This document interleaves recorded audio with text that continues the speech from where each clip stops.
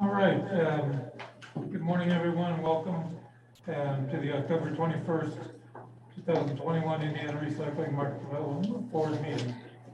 And thank you all for attending. And uh, pretty much a packed day with a number of very good grant requests. And at this time, I'd like to turn it over to Deanna Garner, because we do have some members attending remotely. Yes, good afternoon. I get to read the uh, Zoom script for, for us this morning. Thank you for joining us today, Deanna Garner. And I'm just gonna take a moment. Does someone have Zoom, their microphone on? Because there does seem to be an echo.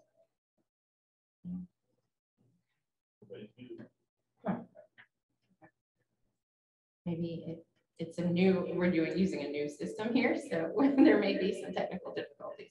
The owl, it's the Yeah. owl, the owl is hooting. Um, all microphones are currently muted. For attendance tracking, please take a moment to write your name and affiliation in the chat box if you're attending via Zoom. We will be taking questions and comments from the public at today's meeting. All participants will be able to unmute themselves and ask questions or make comments at the appropriate times. If you have a question or technical issue during the presentation, please use the raise hand or chat feature. To access the raise hand and chat features, at the bottom or top of your screen, depending on your device, you'll see a menu bar. You may have to move your mouse or touch your screen for the menu bar to pop up. In the middle of that menu, there is a chat icon in which you can click on to show that chat dialog. You should also see the raise hand option. This also can be seen under the participant list, which is also another icon.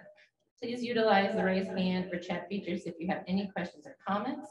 You'll be called upon at the appropriate time. For those on the phone, if you have a question or comment, you can raise your hand by pressing star nine, and we will call on you at the appropriate time. When called upon, you'll need to unmute your phone by pressing star six. For everyone present via Zoom in today's meeting, please identify yourself when speaking. If any members of the media have joined us, please utilize the chat feature or email media at idem.in.gov if you have any questions or would like to schedule an interview.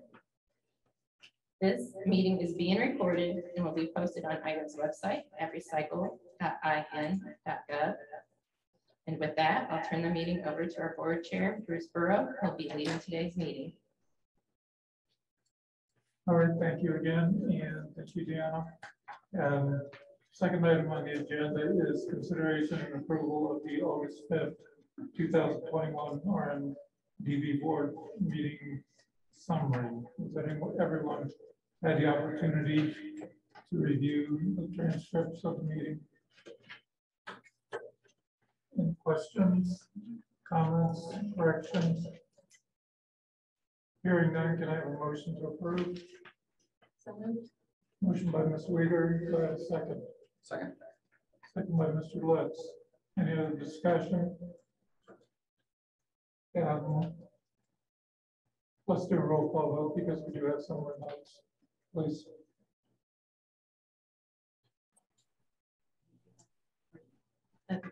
Typically, the transcript is for. I can, I can do it. Um, uh, Ms. Whitehead, Aye. Mr. Lutz. Aye. Ms. Hackman. Aye. Um, right down there. And Mr. Noonan. Aye. And Mr. Guerin. Aye. Ms. Weider. Aye.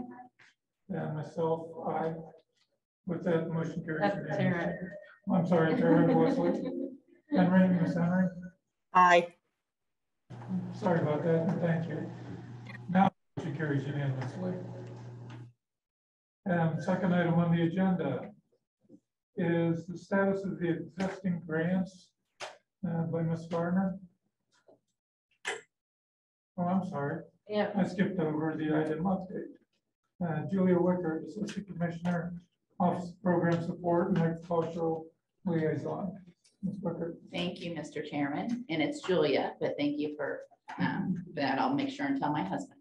So um, it's great for us to all be here in person. The last time we were in this room was right at the cusp of COVID, I think. And uh, um, it's really nice to be able to see everyone. So um, I do want to start by letting you know that this is the National Earthquake Shakeout Day, October 21st at 10:21 a.m. across the country. Um, that is happening. I'm not sure what the procedure is here in um, the Shadeland office. I don't know if there'll be an announcement, not sure, but there may be a disruption at 10:21 a.m. and I just wanted everyone to know about that. So um, it- it's really precaution. Um, I also mentioned the OWL. Um, this is a new tool that we are using at IDEM to help us with hybrid meetings like we're having today. Um, as you can see, those eyes are staring right at you. And if you speak, usually the eyes will stare across the table. Um, really to, to, you know, if you want to communicate with those on the screen, really look at the owl. Um, so, because if you look up there, it's gonna look like you're looking away. So it's a really bad habit I have. I'm doing it right now. I'm looking up there and I should be looking here, but um, it's a really effective tool to help us um, communicate with our stakeholders and customers across the state and country. Um, we've um, implement, we're implementing these in our regional offices as well. And so uh, it's a really, a really good tool of communication. Um, our, uh, we're really excited about, um, we just closed our community recycling grant program application process on October 15th. Um, I don't have all of the specifics, but I can tell you that we had unprecedented numbers of applicants. And we're really excited about reviewing those internally and um, figuring and determining where that $500,000 uh, will go to communities, schools, and stakeholder groups across the state. So uh, excited about that, and we'll have a report for you um, at the next meeting.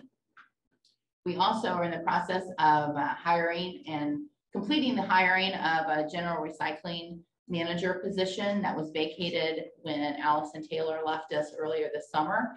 So we're very close to making that announcement and excited um, that we'll be able to fill that position as it's key to a lot of the work that we do uh, both inside and outside of state government on recycling. We are working pretty aggressively, um, working on our National Recycling Day events. Um, National Recycling Day is November 15th. And so we are doing a uh, plastic bag recycling drive um, in the state government complex.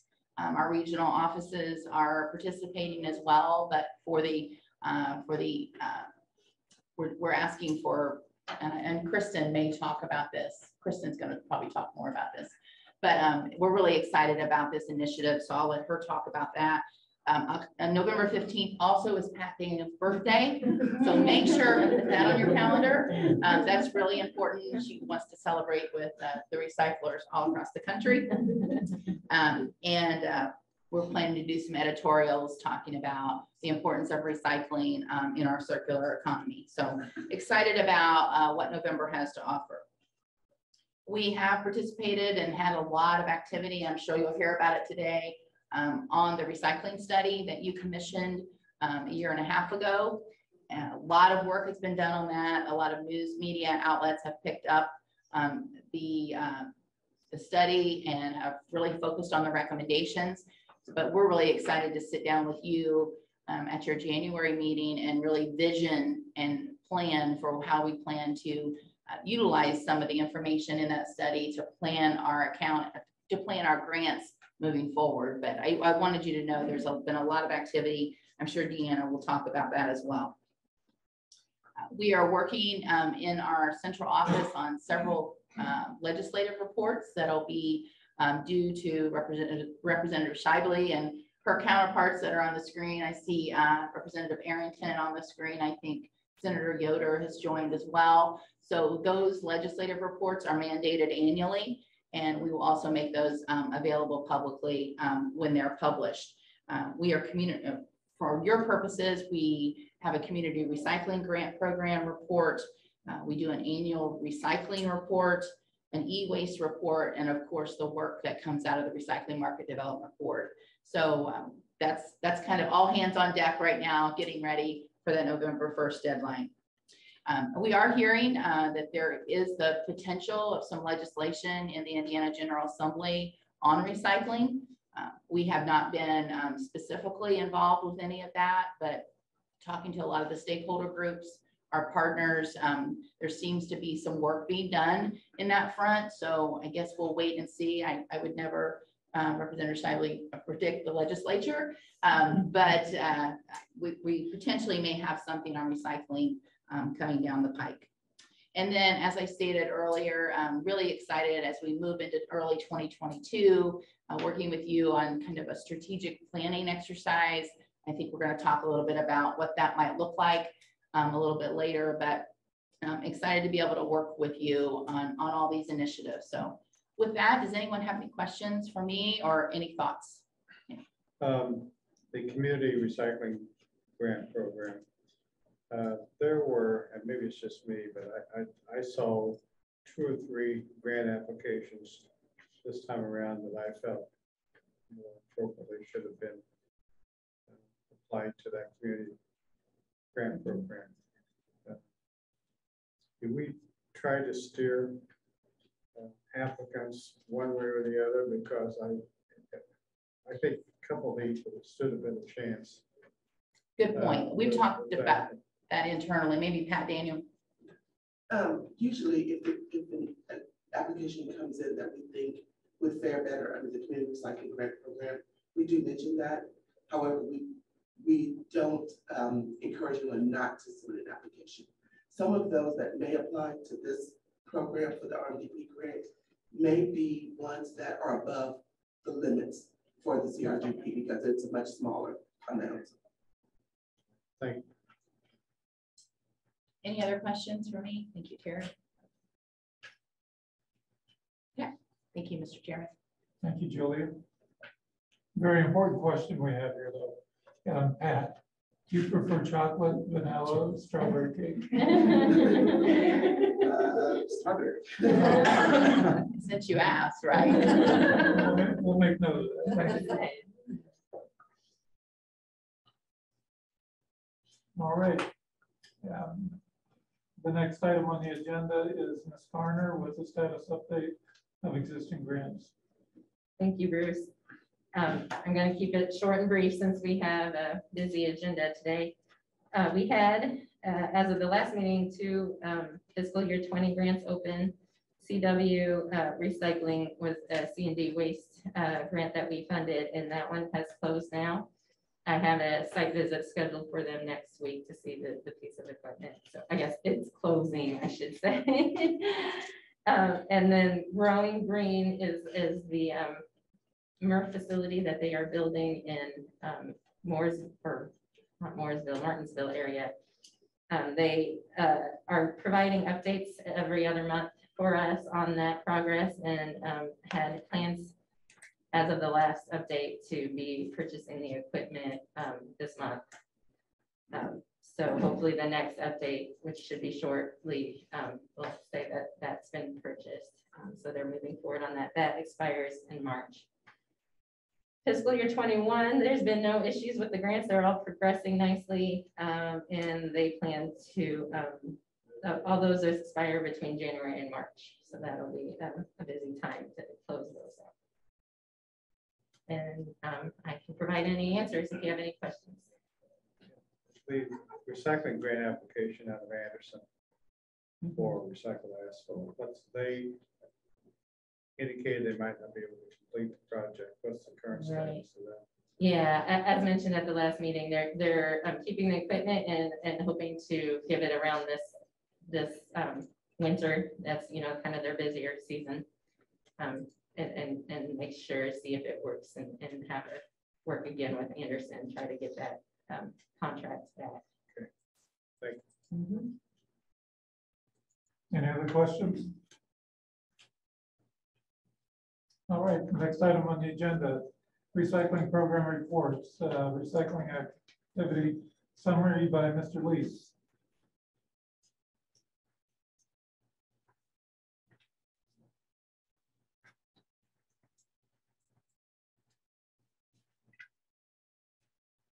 So yeah, this is our recycling uh, report for, uh, we call it the index report because it looks more at the, the progress as we try to achieve that fifty percent recycling goal. So we got to measure that, how we get there. So there's many elements that go into making that uh, determination. And so we're saying activity reports, which we collect through our online reporting system, Re-TRAC, is a, a big part of that effort. And but the name change kind of reflects the, the the overall efforts. And later on, we'll talk more specifically about recycling activity uh, summaries. Um, so the first slide, yes, we have the solid waste metrics. Oh, on the next slide. Yeah. And um, yeah, this gives the boundaries of uh, as a measurement. And we see our recycling rate uh, for 2020 was 19.1%. And, and the bottom line is the generation rate uh, uh, of municipal solid waste. And so, of, course, you know, our um, boundary is municipal solid waste. So 19.1% is the recycling rate. And you see the generation is, is, pretty even. And uh, the recycling rate is up relatively uh, even as well. Uh, next slide. I, I, will back that up. But um, yeah, the sectors are, are, important as it goes into that. Um, sorry. Technical difficulties, it just crashed. And um, yeah, so the sectors are the residential sector, uh, the, the, industrial, commercial, institutional sectors also make up the municipal solid waste. In our generation,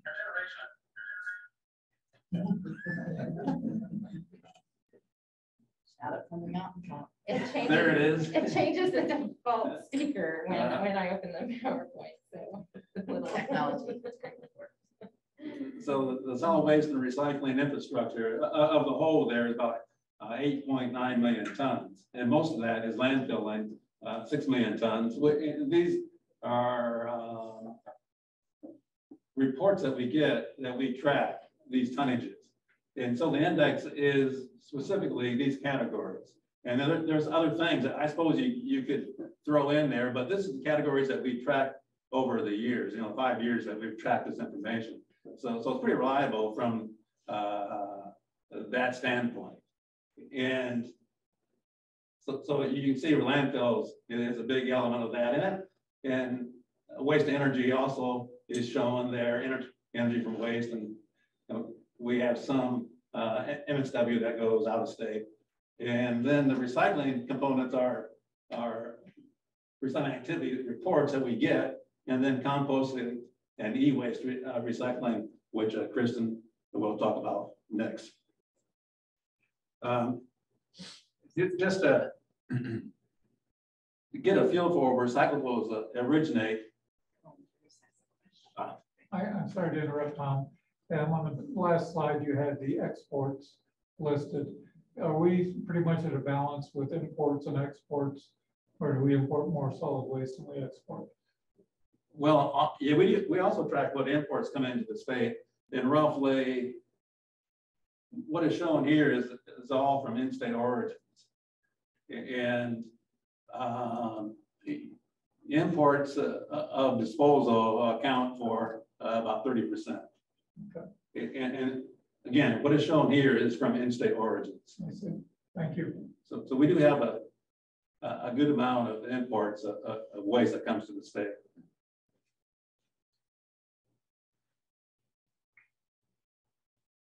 And as we look at the data, especially for recyclables, we, we get a feel for where they originate from. And it's surprisingly, only 20% of the recyclables that are shown would come from single stream collection uh, based on the data that, that we see. And then 45% um, of the recyclables would come from source separated type operations, uh, mainly from uh, industrial, institutional, commercial sectors. And these are packaging, uh, like cardboard and, and those type of recyclables that come from uh, the, industrial, uh, commercial, and institutional sectors. And then 35% would come from wood waste uh, uh, that we uh, are, are seeing. and organics, wood waste and organics. But anyway, this, this kind of is a final look as to where our, uh, efforts go. And it, it's a, it shows the magnitude of change, as we can see, if you want to go towards recycling or diversion or, or even a circular economy type things, you know, we have a, a big area to work from. And all these efforts are, are very worthy. So we need landfills, we, we need energy from waste, and, and definitely need recycling to go into that circular economy. So a lot of opportunities, uh, there. And, next slide. In here, you, you get a feel for the hundred and forty-five reports that we get, that we track, uh, on an annual basis. And, um, yeah, the, the first category is solid waste management, and these principal business activities are completed by the, the, the registration uh, facility. They indicate where they fall in line with that business activity. And so this is, uh, uh, the reports are broken out by what they would indicate who they are. And it's always waste management companies would be, uh, um, oh, the transfer stations, could be landfills, uh, as well as the waste energy facility would be in that category. And it's always management districts and government, again, uh, yeah, this year we had sixty-three out of seventy-six districts submit reports. And all of them are, except one district are registered in Re-TRAC.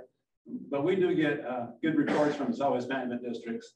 Uh, and then government would be, uh, places like Richmond or Jasper or even Allen County, uh, submits under the government, uh, category.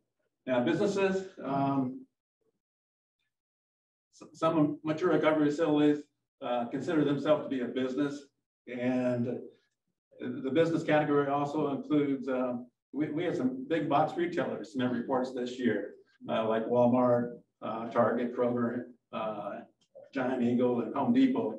So, so they fall under that category.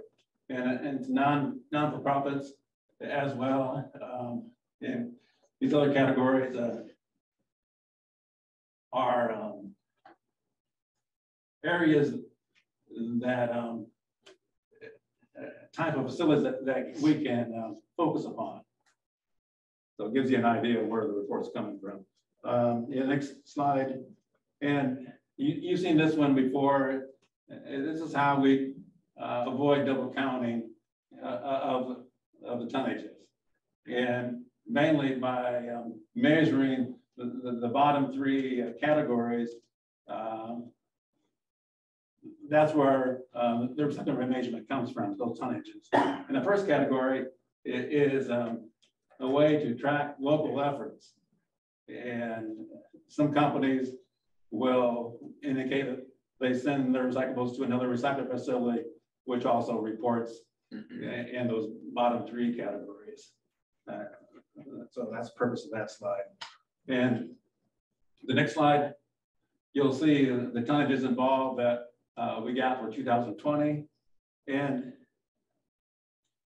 yeah, I guess generally, generally the the the tonnages, we, we talk about infrastructure types that- will contribute to those amounts. And so the, the material recovery facility, the MRF sheds, uh, are an important part of, of the reporting. And we get very good, uh, reports from, uh, facilities that would be in the MRF shed. And, and so each MRF shed, you know, is specific to a material recovery facility. And we, uh, oh, um, have fourteen material recovery facilities in the state that, um, that do report. So there is also direct hauls, which, um, may be outside of that MRF shed. And, and so those are some of the numbers that, that we may or may not get because, um, they're usually generators and they will directly send their recyclables to an end use and, and will not go through a MRF shed.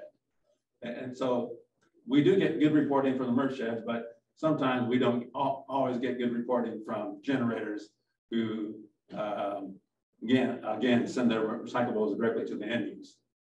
Uh, Metal salvage yards is is another category uh, that um, are not required to submit reports. and they do not go through a MRF shed either. So just kind of a highlight on the infrastructure there. Yeah, next slide, you, again, you get to see over the years, uh, fiber or cardboard, paper, it, it's all the same under, under paper. Uh, is majority of the recyclables being shipped there. And next slide. Uh, market destinations. Obviously, we got robust regional markets outside of the state. And this is a category of reporting where um, would be in addition to recycling activity summaries, if we were to get better information about what is being used in the state, how many tons of recyclables are being used in state. Uh, this is where the category would show up. Um, so manufacturers and users are not required to submit reports, and we don't want their information mixed with the recycling activity summaries uh, to avoid double counting. So, so if we look at manufacturers and users, we would have to, to treat them in a separate category of how many tons uh, of recyclables that they would use.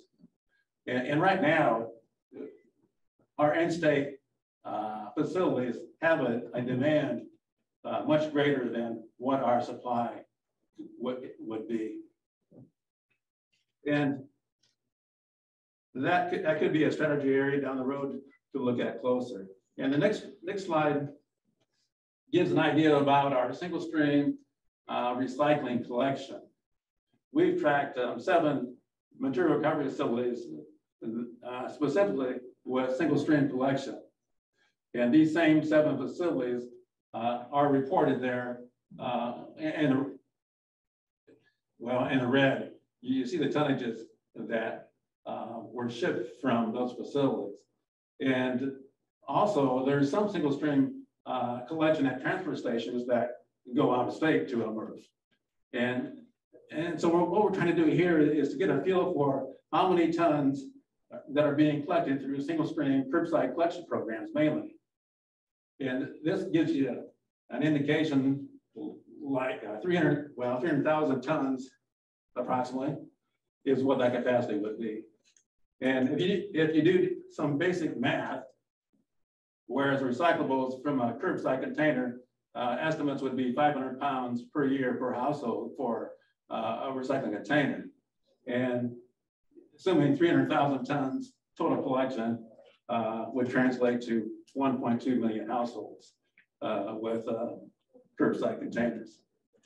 And any, so our households in Indiana uh, would have uh, 2.7, 2.8 million households in the state. So it gives you an idea about um, single stream collection capacity. Um, as we look at 50% recycling goal, uh, this is one element of it. And, you know, we're at this level and we probably need to, to increase that, uh, probably triple that at least. That's uh, what I have today and sure, Bruce? I hate to put you on the spot again, Tom, and, but I would be very interested in the consumption of recycled commodities within the state, if we can pull that number together. I, I don't know if that's possible, uh, because I, I'm always looking at supply and demand Yeah, within the state of Indiana. And we're blessed with a lot of companies that utilize recycled commodities for their products. And I think it would give us a little bit more insight as a board as to the impetus we need to do our job a little better and maybe a little stronger. And uh, maybe we can get Ms. Shively to up our ante here with regard to funds available for programs. yeah, no, that is an excellent point and it's an important piece of information that we want to get to as well. Uh, being able to list the, the- the, core, uh, manufacturers that use recyclables in the state, and how many tons they're using. And what percent comes from Indi- Indiana. That's still a number that we want to get to. I have a question along the same line. You had a slide that, that indicated that um, the amount of materials being utilized in the state Right, and the amount of materials that were being exported. right. And you made the comment that uh, we could use more in-state. And if we could, then why is some of the stuff going out of state? Is it the last lack of infrastructure? What?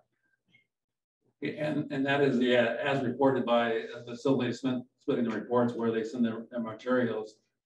Um, And the markets are, are regional. I mean, they're, they're just as good as, across the border as they are in, in Indiana. And um, sometimes they go through brokers, sometimes their companies will directly send their uh, materials to those end-use markets. Yeah, I don't know. I don't, don't know if, how all that fits together. If infrastructure is an issue or, or relationships that uh, companies have with their customers. Uh, If I may help, Tom, um, a lot of it, Terry, has to do with the transportation costs and the contracts that the companies hold with those, um, out-of-state uh, consumers. And when you consider International Paper, you know, we have, you know, we have paper plants in Valparaiso, but IP may pull a lot of material out of the southern sector of Indiana just because of transportation costs. Tom, real quick, um, first, thank you very much. Great, great slides and, and, and great presentation. I appreciate that. Um, few comments. The, the slide that we talked about that had the breakdown of the reporting of who reported Sure. businesses, industry, manufacturing, uh, recycling centers, MRFs, things of that nature. The, and, and it, it kind of goes into, you know, the data is only good as what the, what gets collected in, right? Right, Um, the, and then you, and, and it's always a balance of solid waste. So, I mean, I, I always consider is the tough part about balancing to get to that, that magic number of fifty percent of what is fifty percent is, um, you know, the volume based, the weight based program. And I always say is, you know, recycling's behind the eight ball, so to speak, when you look at it on a weight based sector. We mentioned that um, for a resident, about five hundred pounds, it can, can be recycled in a, in an annual basis. Um, in a, you know, ninety-six gallon cart. Well, take that same ninety-six gallon cart and put solid waste in there. Well, what does that number? It's substantially higher. So you're all, you're already kind of, kind of behind the eight ball there, right? If you're looking at it on a, Oh, on a weight-based analysis. But then to this piece is, I'm just curious to know is where, um, looking at these numbers and, you know, twenty-two businesses that, that reported, no, there's a lot more than twenty-two businesses in the state of Indiana. So what area do you, would you project to say is that we could get better with or encourage to do more reporting and getting, um, more, uh, of the recycling data to kind of really get a true balance of where we're at, where is the state at, right? Is what. Yeah, it, well, the- yeah, the Murph, the MRF shed, as I talked about, Mhm.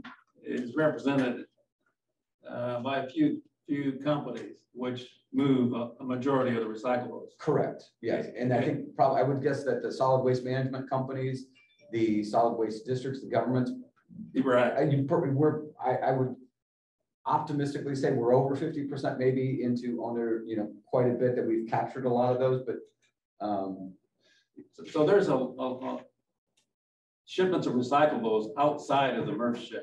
yeah, right, exactly, they go direct. Right. You were talking about the direct. And those numbers that we're not getting. Yeah, And, and they could be much greater. uh, So our recycling rate, is nine, nineteen point one, but in reality, it is probably maybe 25, 30 percent. So with that being said, and I know that you mentioned is we do, the, the worry about double counting Right, is when we talk to, you know, the end users or, or the mills, um, you know, the Valparaiso's, the, you know, that the end. If we were to, I just, I would be curious, um, and, because we don't want to double count, but I would be curious to know what that number is. Is if we were to go and survey the end users, the mills, right, and say, how much material of inbound material or shipment do they receive? sure. and see what that number, that total number looks like. And it would be interesting to see if, you know, if they could even report of, you know, in-state numbers, because I, I would venture to say that might capture a lot of those, um, you know, uh, the single stream or the, you know, the, the, the single source material, like a, you know, bales of cardboard or bales of paper that are shipment directly, that may not it- come from the MRF shed. that might not come, but, but, but take that number away, take, add that all total Yeah. into and have a separate total and say, here's that total based on the solid waste. And maybe we might get to, you know, I'd, I'd be interested to see what that percentage looks like. And that would give us a, a- another piece of information that would, um, You would compare that to the Yeah. nineteen percent of what, what. what, what the supply here. side would do. Yeah. And, and we know, you know, the, the Pratt Mill in Valparaiso, I mean, they'll say that- that, uses, uses five hundred thousand tons of cardboard, uh, fiber coming into that facility. Only twenty-five percent comes from Indiana. Mhm. And th- so they get a lot, lot of the material from out of state for that one facility. And so, yeah, it, you know, that exercise would be very, very beneficial. There are also a number of businesses that are not reporting Mhm. because they were not captured when the statute was passed requiring reporting. And uh, I know some of us, especially NWRA, has been talking to IDEM about going back again, hopefully in this next legislative session, and capturing some of those businesses that escaped the last time around. That's where I was, that, that's kind of what I was trying to get to is if we were to go to the end users in the mills, would you capture that data? You know what I'm saying, in a, in a roundabout way? So I don't know if anybody's here from the IRC, but they just recently hosted an event where they had um, representatives and, and uh, they had, I don't know, six or seven people from different industries specifically talking about the fact that, I know Knauf Insulation was one of the primaries, uh, specifically talking about the desire for more in-state recyclables and if the infrastructure was there and they could get those coming in directly, they would absolutely be able to utilize those and they would be able to expand their business, add jobs, et cetera, et cetera. So I know that, that IRC is working with some of those, those companies already. And again, every single one of them reiterated the same thing. If we could get better collection and have an increased stream of in-state recyclables, they could absolutely use those materials.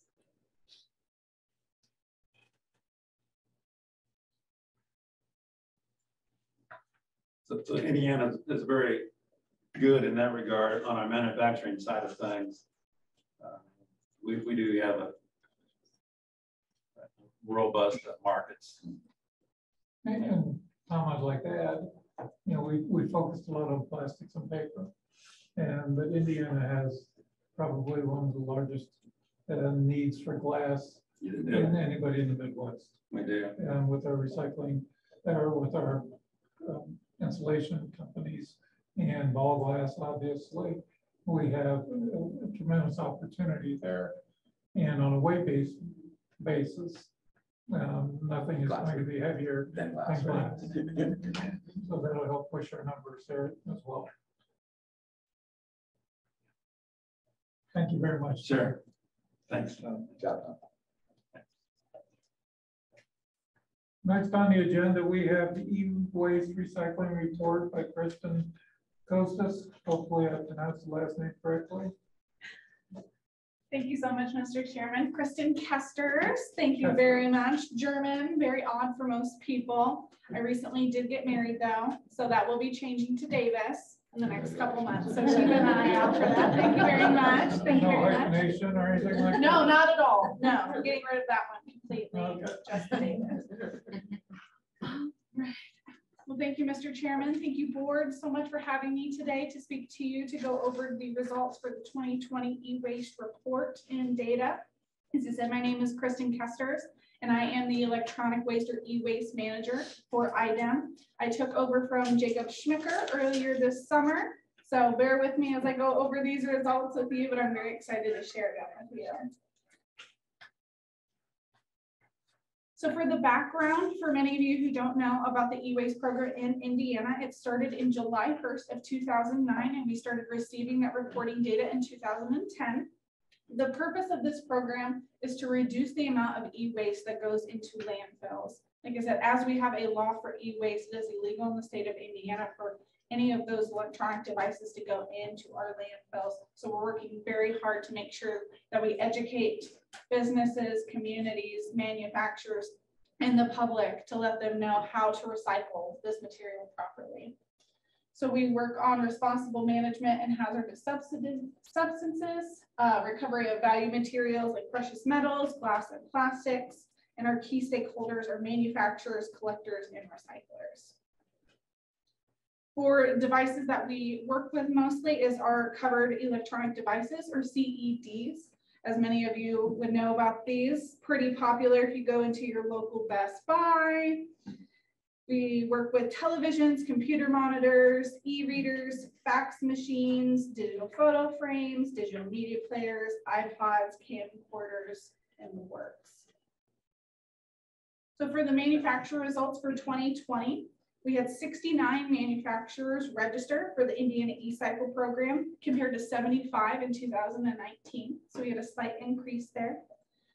Manufacturers collectively had a 16.8 million pound recycling obligation goal for the past program year. And we were able to boost that up to 22 million pounds from 18 million pounds the previous year. For collector results in 2020, we had 83 collectors registered with a total of 16.3 million pounds of CEDs collected. 12.8 million pounds collected from metropolitan counties and 5.5 million from non-metropolitan counties. For recycling results for 2020, we saw an increase in recyclers registering with 27 recyclers registering for the e-cycle program for 2020 compared to 23 in 2019, totaling up to 20.7 million pounds. And we are proud to announce that since the IDEM program of the e-waste management in the law, we have collected over 350 million pounds of e-waste material, reducing that amount going into the landfill. So for outreach efforts, it was a little different in 2020 due to the pandemic. So we were a little creative, as you can see. Um, so we did attend the IRC's annual conference virtually.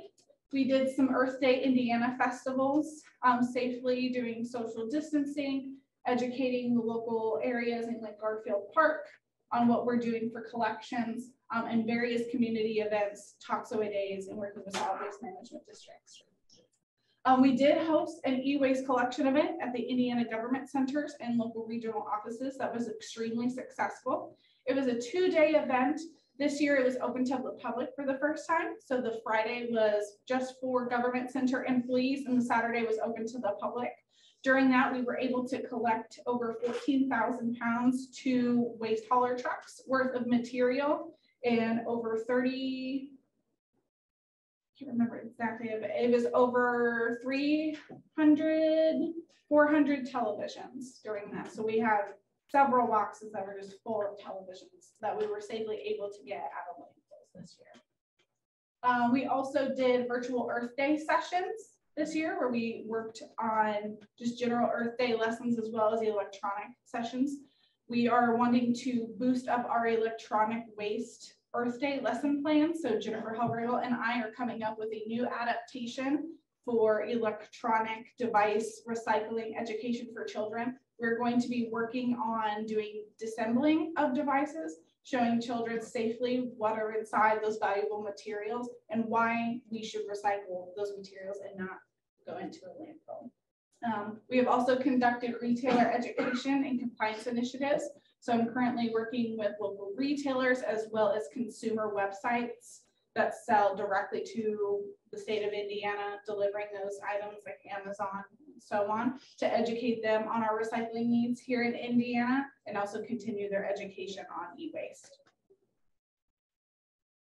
Thank you again for having me. Again, my name is Kristen Kesters. If you have any questions, my contact information is there and we look forward to finishing up the rest of the um, e-cycle report and posting it online for you to view the entire report and data entries. It'll be on our Recycle Indiana, the recycle.in.gov page under e-waste results. Thank you very much. Thank you, Kristen.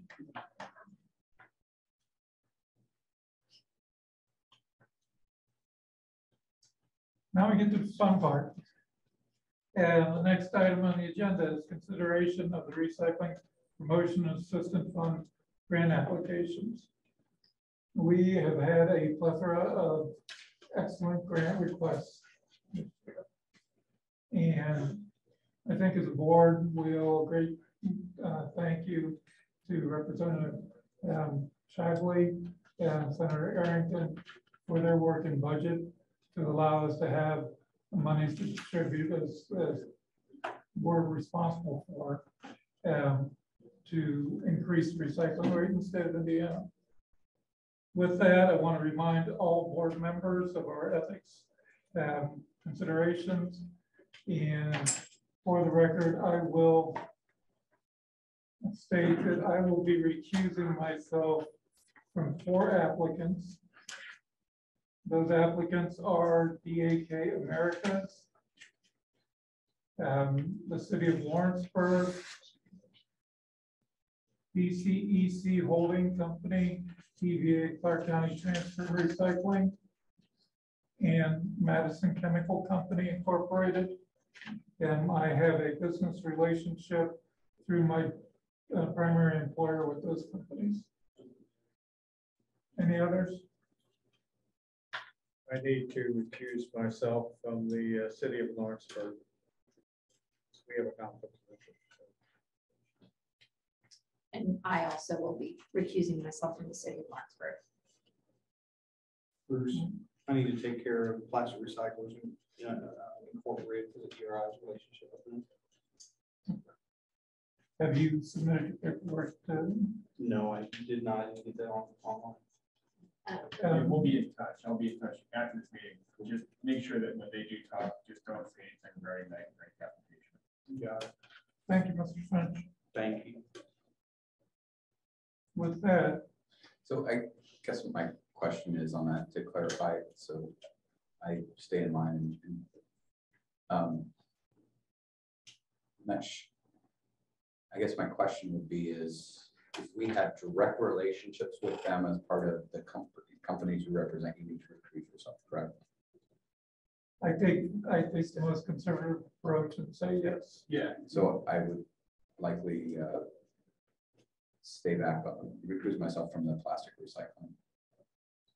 All right. And I would recommend you get with Mr. French afterwards. well.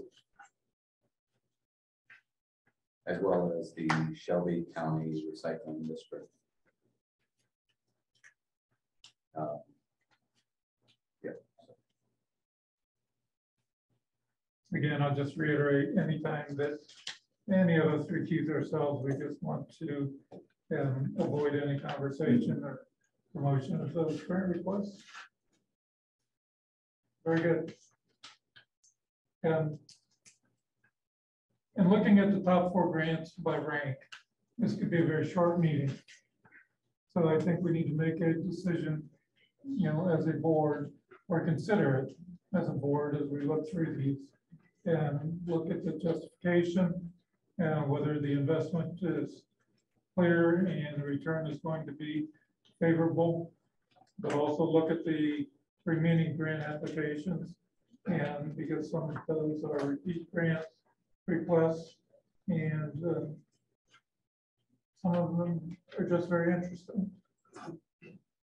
Um, with that, I would like to ask, um, is there anyone from Plastic Recycling Incorporated available to speak to their grant request of five hundred thousand dollars?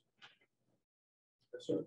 Yes, sir, would you come forward, state your name, and kind of give, give us an overview of your project?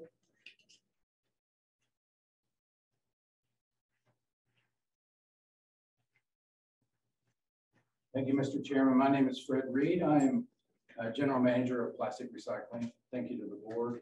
Uh, Brandon Shaw, one of the owners, is also here as well.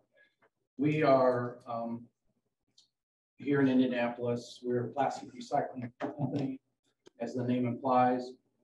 Um, We do mostly post-industrial plastic. We are getting into now the um, e-waste stream that uh, Kristen talked about a little bit ago. Um, We have a facility over on uh, State Avenue that uh, we are uh, working on and trying to expand. And that's what the grant process is. Um, $1.4 million um, cost. We're asking for a half million dollars. Um, That will expand our capacity and also enable us to um, collect and uh, recycle at a higher level so that the waste scrap that we send out, the, the level of that uh, waste will go down. So our efficiency goes up.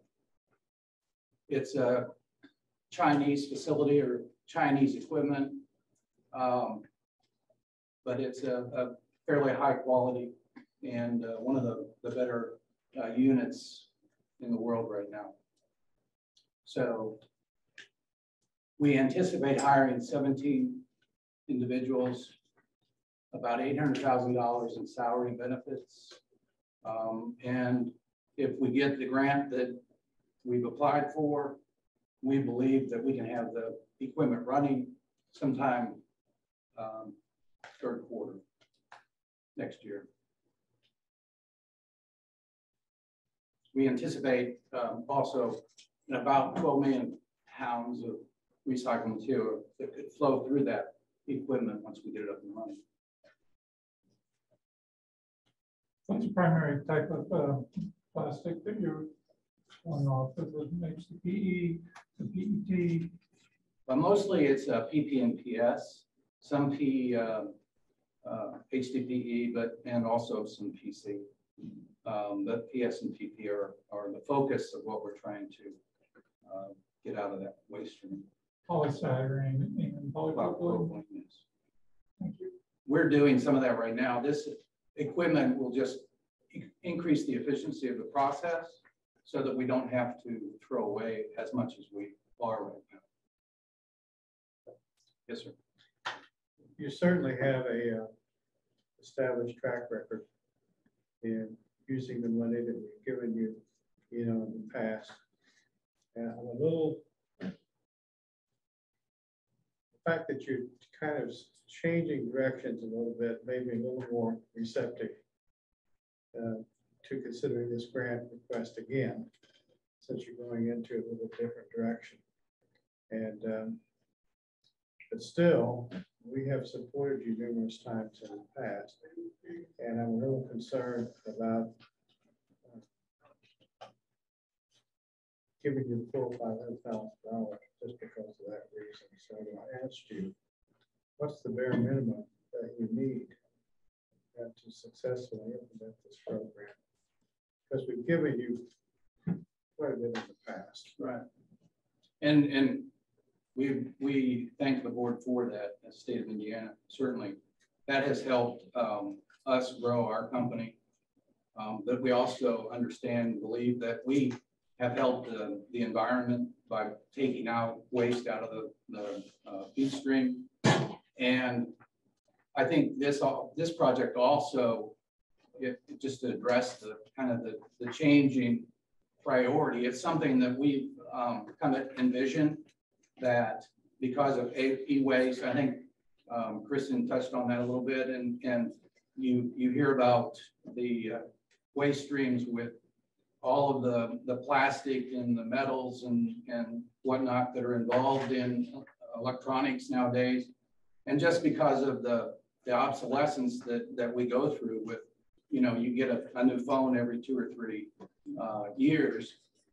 Uh, some people get new phones every year, but um, to your point, we see that that, that waste stream continues to expand. And I think all of the research indicates that that will only continue to grow. And we're focusing on that, not only from a, environmental standpoint, but also from an economic standpoint. And um, we think that this, this equipment that we put in the grant will help us uh, grow that business and, and also help uh, the environment as well uh, from a kind of a, you know, economic and an environmental standpoint. Um, How much do we need to do the project? I think that we probably would do the project um, regardless of how much the board gave us, honestly. Uh, Just to be honest with you, I think certainly would help us continue to grow if we got the full five hundred thousand dollars. Um, But I think we're prepared to probably do it. But I I appreciate your honesty and I, I'm supportive of, of funding you again. It's just the level of funding that I'm having some difficulty with. Understand? Yes, ma'am. Um, Right now, all the, the waste from electronics is being handled in Indiana by other companies. You are proposing to start a business where you would handle some of that yourself, right? So are we just, are we just changing where that e-waste is going from one processor to yours? Or how are we increasing recycling by this project? Well, what we're trying to do is, we're, we're not going to be the front end. We're uh, kind of a specialized process. We take material um, from other processors who, who take in the material on front end. So the electronic waste, the TVs, the, the computers, whatever, come in, they're disassembled, the, the parts are taken apart. We actually have specialized equipment that we will take that, the plastics, uh, that's what we're focused on, that's what we want. And we'll take that out of the, the feed stream instead of going to the uh, landfills. So what we're trying to do is take the, the plastic, reduce the amount going to the landfill, um, and, and use that in our processes. Um, we turn around and sell that back out to uh, manufacturers here in the state and elsewhere. So is the material that you're receiving uh, contaminated? What is it contaminated with that the sorting is going to improve? Uh, the different materials, when it comes from a source, it, it's sometimes in bulk form, sometimes it's shred. And the material is, is kind of co-mingled, if that makes sense. It's, we call it contaminated, but it may have several different materials in there. Um, maybe co, uh, commingled with uh, polypropylene, polyethylene, polystyrene. It may have fire retardant materials in there. It may have some metals in there. It may have paper, cardboard, glass. Um, so it just depends on where we get the material from and how good or how well they um, clean that material up. We have to then take that material and refine it and separate the materials out so we can use that polypropylene or polystyrene in our manufacturing process. So it's, it's, a, it's our ability to take those elements and separate them. And then we can use that rather than try to, you, you really can't use that commingled or contaminating material. So is it, is it primarily different types of plastics? I mean, I assume that the, the e-waste processors are pulling out the metals. Some of them are, some of them. Most of the, I mean, gold and, and platinum and whatever else is in there, they're taking, that's, that's primarily what they're focused on is taking the metals out. And what's left, there's a little bit of residual metal in there. Um, and then some of the other materials as well. So when, when you sort it or with this new machine, as it gets sorted better, then you end up with plastics you want, the different types of plastics, the metals, do the metals then go back to the source? Usually the metals, it's a small amount and we'll just, um, if we can recycle those, we will give those to a metal recycler. Uh, or sell them to a metal recycler. Um, honestly, again, the, the folks that we get our material from are focused on the metals, so they try to get as much of that out as they can. But there is some residual metal left. And so when we get that, the process that, that we're trying to get is, is a, a process of sink float tanks, which water, the metal sink, some of the plastic floats, some of the plastic sinks. Um, and then there are some electronics that the metal goes through. It charges the plastic and that helps separate the plastic. So the process is, um, again, one of trying to refine the feed stream so that we can use that in- better in our manufacturing process. Can you, can you address the, right now, plastics is a great, it's a great time for plastics. And commodity rates are very high on plastics, obviously with the fuel and, or the crude price high. How do you position yourself in the event that the crude drops and people want to go back to virgin plastics? Well, actually, the price of virgin is almost the same as recycled right now. As you said, uh, Mr. Chairman, the, the whole economics of plastic is interesting because of the price of uh, oil. And we have gone through cycles, just like everybody else, where the price of oil goes up, price of oil comes down. And we have to, what we do, what we anticipate or try to anticipate is that swing or that, those um, highs and lows. And when we buy raw materials, we try to anticipate that. Our pricing goes up and down, just like, you know, markets do all over. And so as, as you inferred, as the price of oil will come down, as it does come down, we have to adjust our marketing and our buying and selling prices and, and costs.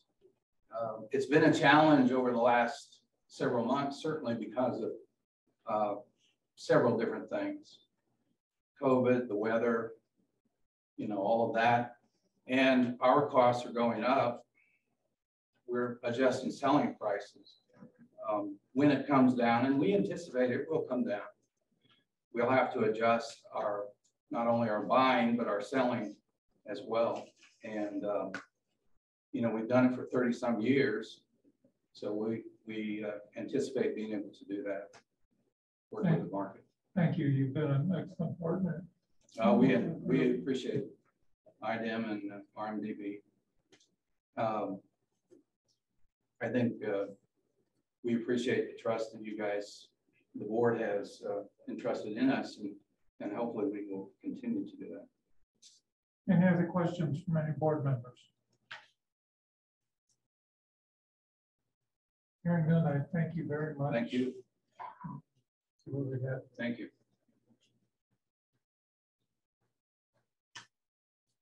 Now, in the course of review, shall we take them one by one? Or do you want to um, listen to the presentations of several before making awards? I would like to hear from, I think, the top six. All right. We have a recommendation here from the top six. Do We have any disagreement or agreement with that? I'd like to um, also hear from Clark.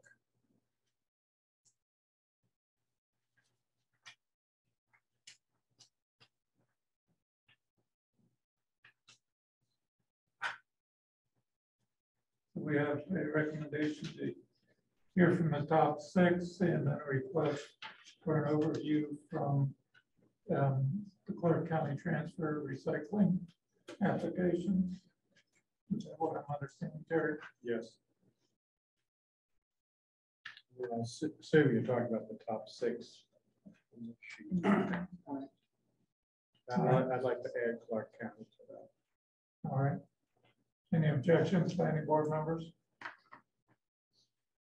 Hearing none. Um, do we have a representative from Revolution Plastics Holding LLC? DBA Revolution, yes, or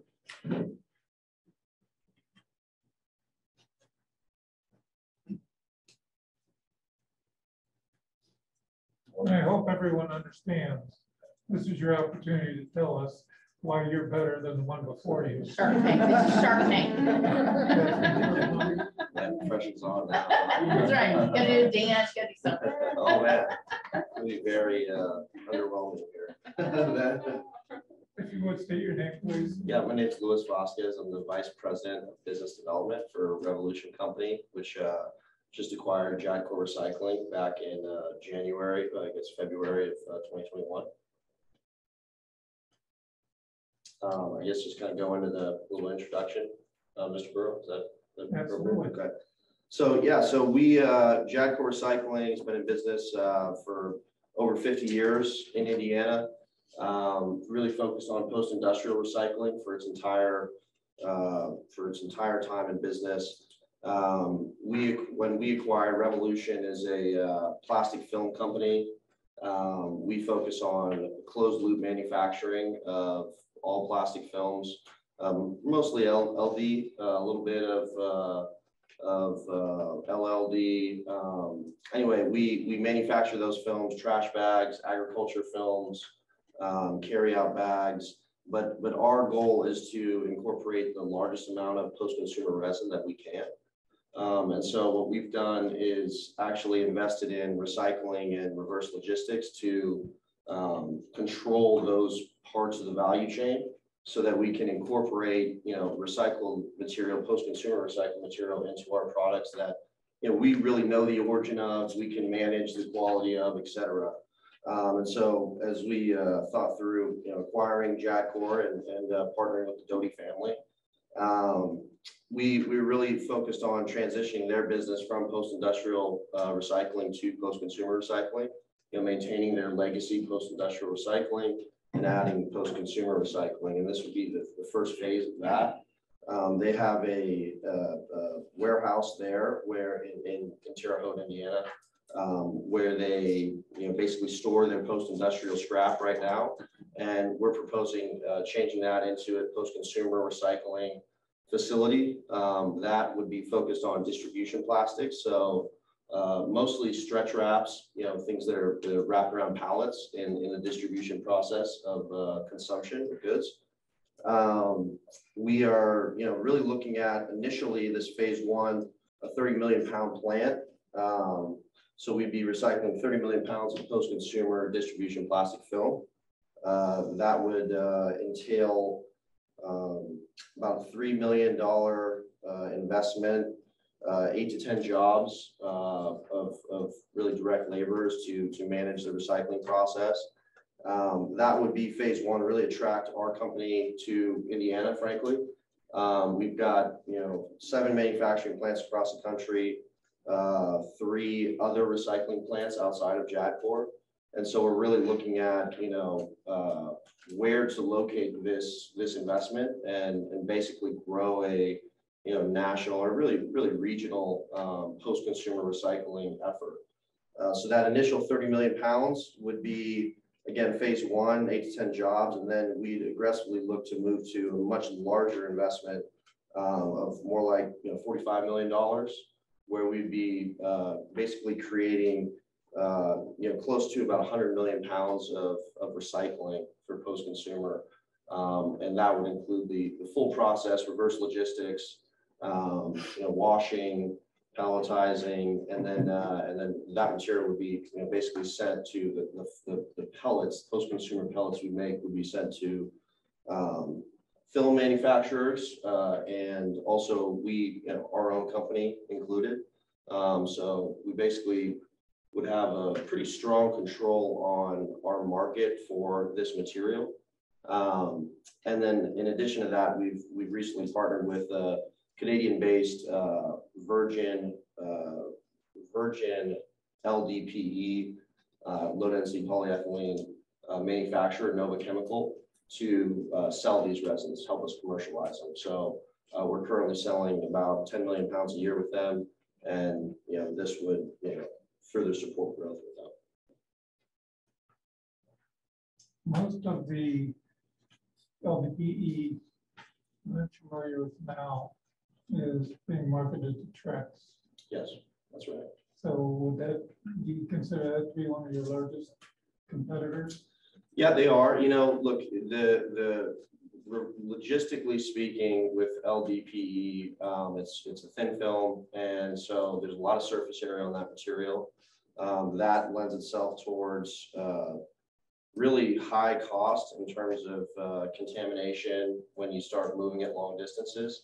Trex is located in, uh, I believe Sparks, Nevada is their main plant, and they have another plant, I think it's in South Carolina, but don't quote me on that. Um, anyway, they're, they're gonna be pulling from those regions, you know, western, eastern regions.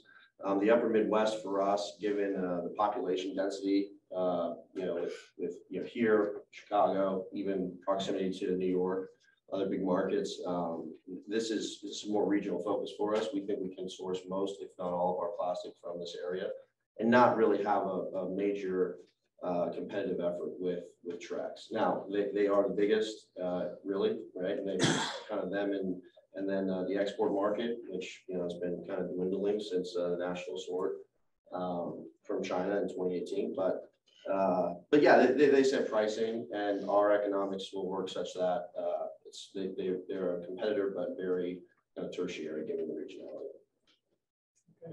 I don't want to be viewed as a negative Nancy here, but um, a lot of companies have put out in their sustainability goals, the elimination of LDPE bags. Now, How will that impact your operations? Yeah, so, um, look, it's something that we monitor very closely as a company across all of our, our, our plants. Um, we, we feel like, look, there is a lot of efforts moving against plastic, right? A lot of negativity, um, a lot of, a lot of people pushing paper, uh, which is, in some, in my opinion at least, uh, less sustainable than plastic. Um, I think that, uh, those trends, you know, will continue frankly, uh, those pressures, I should say, but, uh, a bigger, bigger, uh, tailwind that we see is just demand for post-consumer. Uh, and we feel that the reason, you know, a lot of that negativity is coming is because there is really no domestic, uh, infrastructure for the recycling of plastic film, you know, really recycling LDPE. And so, um, we are hoping to change that frankly, and really change that narrative. Thank you. You mentioned stretch wrap, and I uh, happen to walk through a whole lot of manufacturing facilities throughout the state, and I see a whole lot of stretch wrap. The, the big issue that I always encounter is they don't have anybody that will pick it up. Sure. So Can you talk a little bit about the supply and the Yeah. flow? Yeah, yeah, so basically, um, yeah, we partner with, with, you know, just largely distribution companies, um, uh, to basically, uh, you know, either sort, you know, site on their facility balers or uh, certainly trucks, um, where they could load that stretch wrap into those trucks, and then we, we'd send trucks and basically pick up the, the full, um, container and swap it out with a new one. And, uh, we, we look to set up long-term supply contracts with, with those manufacturers. Um, in, in some cases, depending on how much, uh, how much effort they're putting into, uh, source separating that material from other films that are used in their processes. Um, we'll even pay them for that film. Um, you know, if they're bailing it, certainly we'll pay them for it, you know, just compensate them for the labor and the cost to you know, maximize the weight in that truck. Um, yeah, so that's, that's kind of, you know, what we do, uh, you know, in, in, in some, you know, much larger cases, larger companies like say Targets or Kroger's, where they have, you know, very big distribution centers that are producing, you know, upwards of a million, two million pounds a year. We might even, you know, staff some, some people on their site to help them just manage that material. Um, we're basically looking at taking grades A through C um, of stretch film. So, you know, the, the, the, the market for stretch film uh, is graded in that way, grades A through C of natural color is what we're gonna focus on. Um, and, uh, in time, especially as we go into kind of phase two and three, uh, really focus on the lower grades. So really maximize, uh, the amount of material we can grab closer. Um, and, uh, really look at our own automated sorting of that material to, to, you know, basically bring out as much value from that, that waste stream as possible. I'll ask you the same question that, uh, we asked for. Okay. You guys You remind me. okay to get along with Wes? Yeah, so, you know, I This think, is the shark deal, right? yeah, no kidding, huh? I It's a realize, good I'd one. like to get all of it, but I mean, Yeah, um, if you can live with a little bit less, that might mean, we can give some to somebody else. Sure, you know, look, I, I uh, wish that uh, I was the ultimate decision maker of my company. Unfortunately, I'm not. Um, And so, you know, this for us is, uh, would be a major stake in the ground to, you know, start the process of locating this, this major plant, major plant for, uh, we feel that the entire Midwest, certainly Indiana, um, here in the state. You know, we've, we've got locations in uh, Oakdale, Minnesota and, uh, and Shelbyville, uh, Tennessee, um, where we're also looking at locating this Dallas, Texas as well. You know, and, and frankly, it's, it's, uh, yes, we could take less, you know, we're, we're, we're a larger company. But, um, my fear would be that, you know, it could steer us from investing in another state, frankly. Okay. Thank you. Yeah. Any other questions? Thank you very much. Yeah, thank you.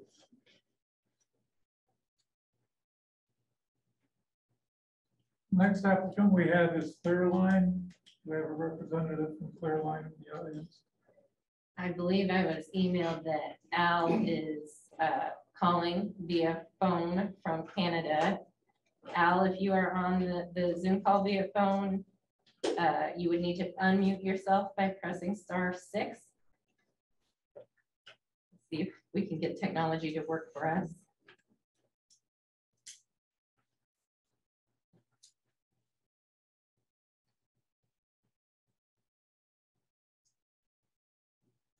Ground control to Al. Maybe he's not on. I have a question for Julia, if I may. Um, Previously, we had the waste tire fund. That's not in existence anymore. It's located in the Office of Land Quality in Nottingham. And because I'm looking at this, you know, grant application, and they're more looking at TDF tire direct fuel. And I didn't know if that would be more applicable to the roads tire fund, or if that's something, because normally we steer away from tires, so we not. When, when we steered away from tires, it's tires for energy. Um, um, But, you know, we still fund recycling projects. Okay.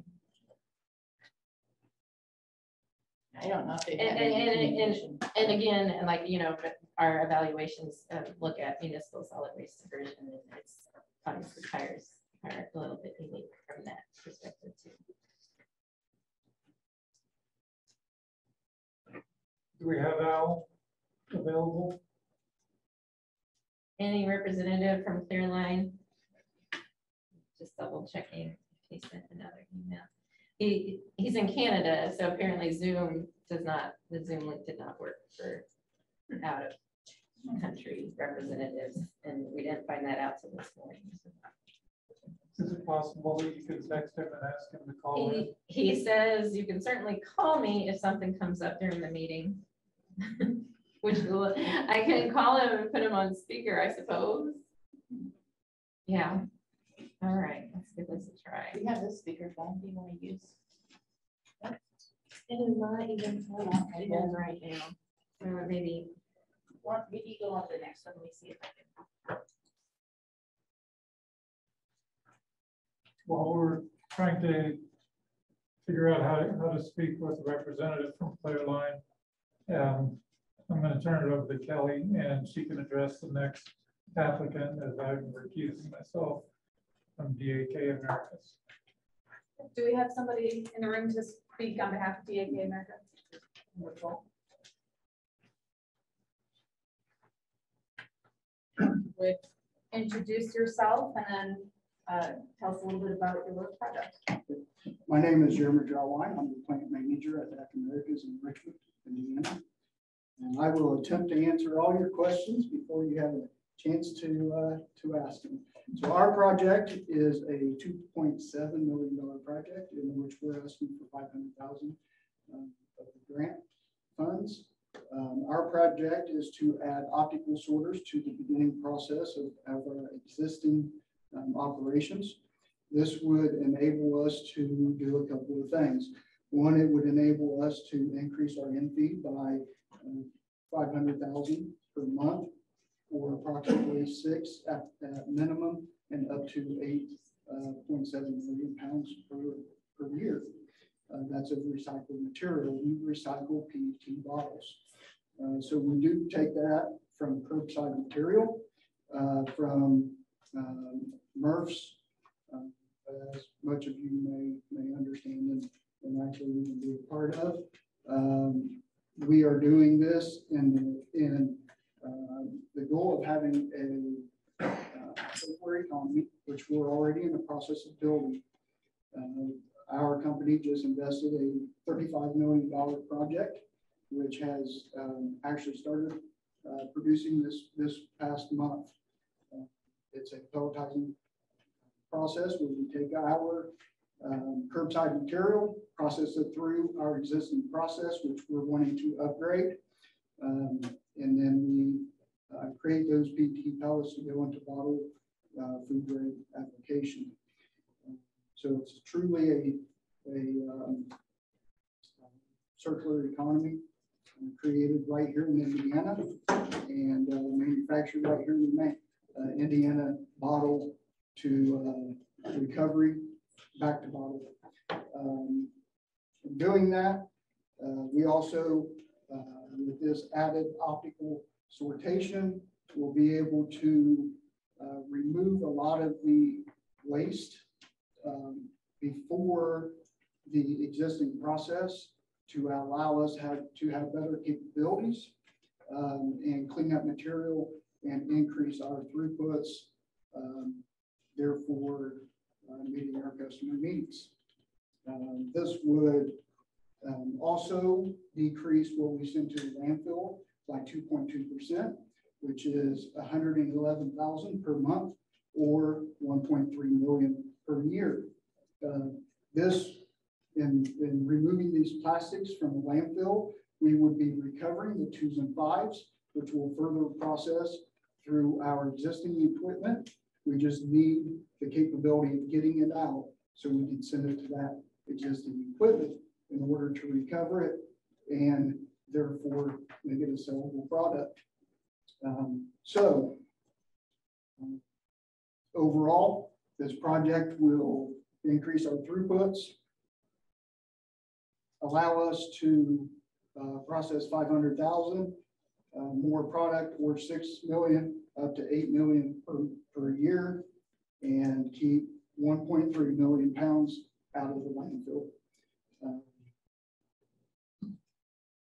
See, any additional uh, benefits, uh, it will also help us um, maintain cleaner processed water, reducing TSS that goes into our um, municipalities and our um, um, processed water that goes back to the city. Um, I know that there was a question with uh, 500,000 being the request, um, if we would be able to take any less. Um, Right now, uh, with the $30 million project that we just finished, uh, this project will be a phase two. We're also putting in just under $5 million project, uh, which is actually starting now. Um, And it'll go up through the end of the year uh, for reliability of the existing plant. Uh, So we also, uh, as a company, uh, acquired a similar facility in Reading, PA, $65 million this year. And we also have an operating facility that we're uh, currently converting from fiber to food grade in um, Fayetteville, North Carolina. So there's a lot of competing um, facilities that's, that's moving along the same path as the Richmond facility um, that we're competing for capital funds for. Um, So if we don't get the, the full five hundred thousand, I fear that it may either postpone or move this project to another, another state. Thank you. And are there any, with the addition of this new equipment, are there any additional jobs expected? We did just, uh, with the, the thirty-five million dollar project, we did bring on thirty additional jobs. Um, whereas this specific project will not add or subtract any jobs, but it will secure lose jobs. You mentioned that your uh, stream comes from curbside recycling. Does, What, what is the reach or, or the area that, that you're pulling from? Um, throughout the whole US, we do, um, have, you know, local Indiana, um, that we do, uh, bring material in from. So, and it, it's roughly about ten percent of our overall, um, three, three point six billion that we, that we use. And this is a little bit outside, but I'm curious, because I know a lot of the, especially more rural areas, um, recycling programs are really struggling financially and a lot of them have been shrunk. Do you guys ever get involved on that end to help get more local collection happening? We do. We have a, an entire procurement um, team that reaches out. They have personal relationships with a lot of the manufacturer, the MRFs um, in the, in the, in the Indiana area. We visit those MRFs. We try and work with those MRFs on, you know, what their needs are, what our needs are, um, to try and make that fit. Absolutely.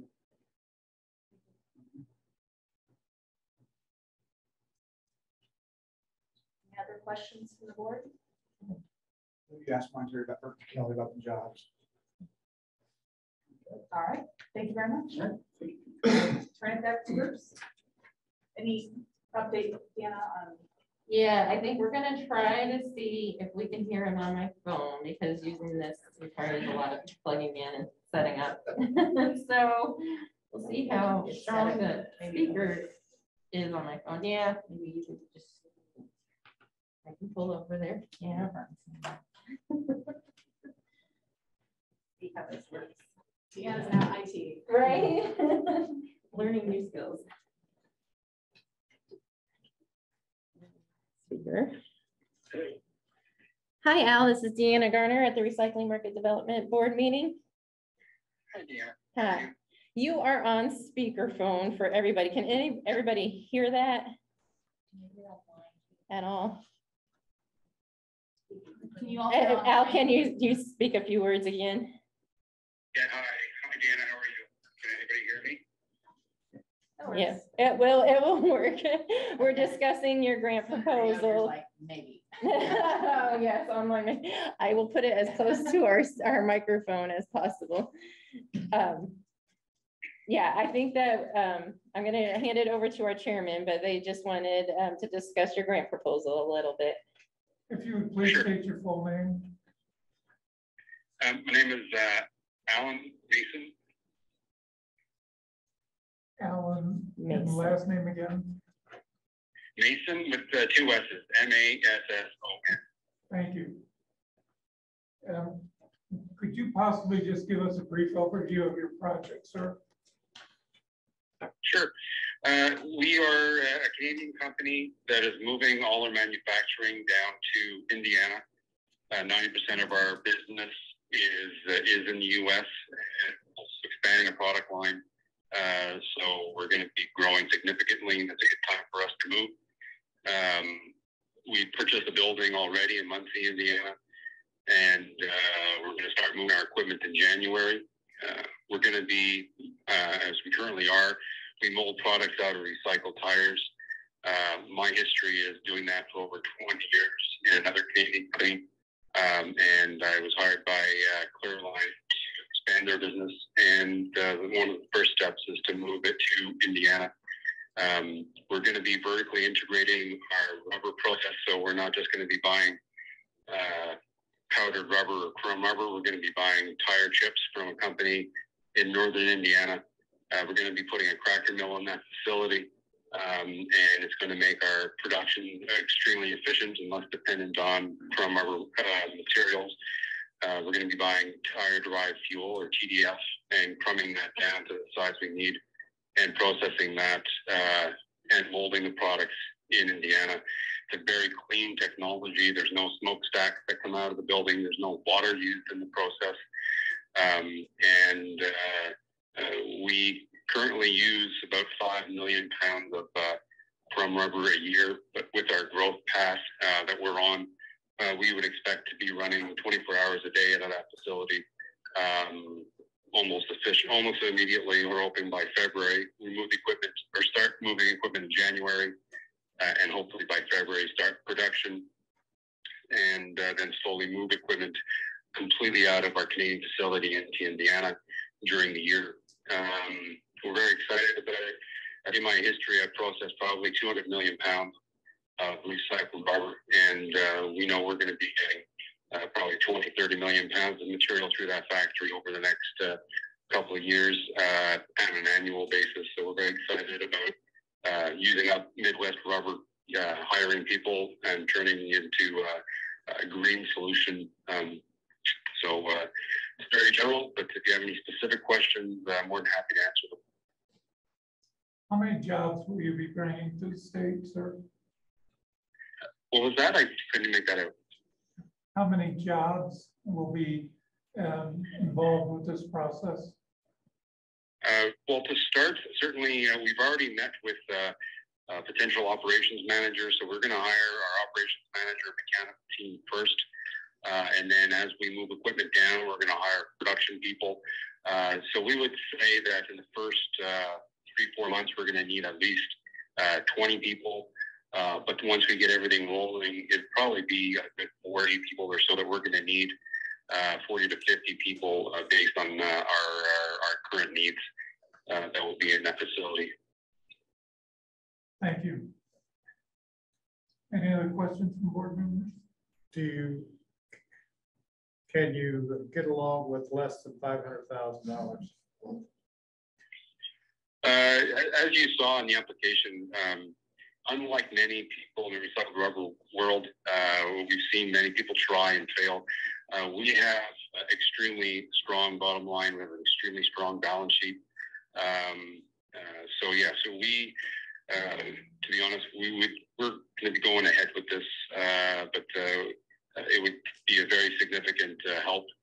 We, we could certainly go with a couple, a couple hundred thousand, three hundred thousand, four hundred thousand. But uh, certainly, this, this, machine itself that we want to acquire uh, from the Indiana business is a million dollar machine. Um, so uh, that's why we're thinking that would be uh, the, the, fairest. Uh, but uh, yes, we, we could move along with this if it was about half a million dollars. May I ask where the machine is um, developed and manufactured? Excuse me? Where is the machine uh, manufactured? In uh, northern Indiana, the company is called Jomar.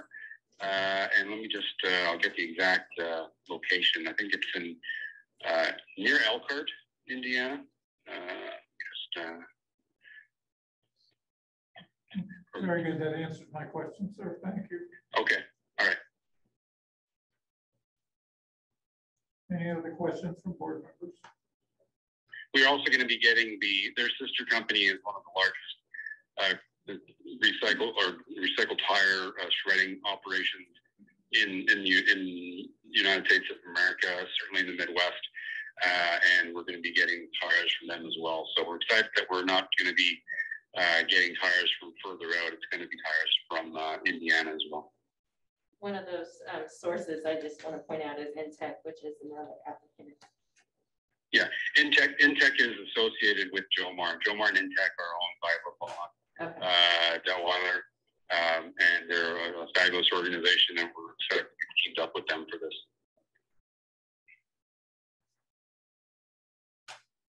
Any other questions?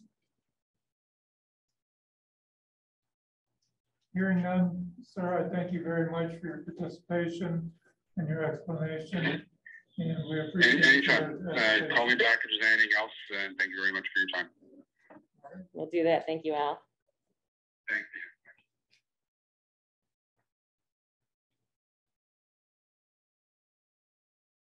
The next applicant we have after Clearline would be Plus Five Indiana LLC plus five.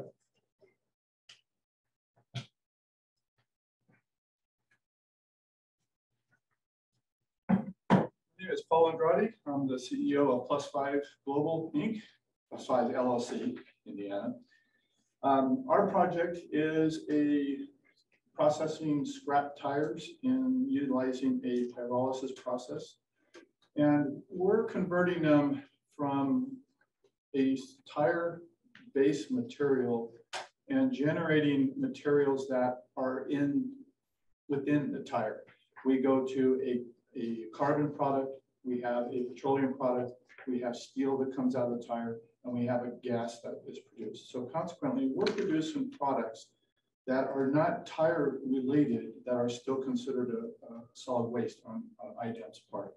So by taking those, those materials out of the tire and taking it back to its constituent components, we're open to a lot of new markets. And mm-hmm. what we've focused on is we've got a recycling process, but the whole thing about pyrolysis companies that have had problems is the fact that they generate materials that don't have a high enough quality to them to sell the materials at a viable price to make the pro forma work.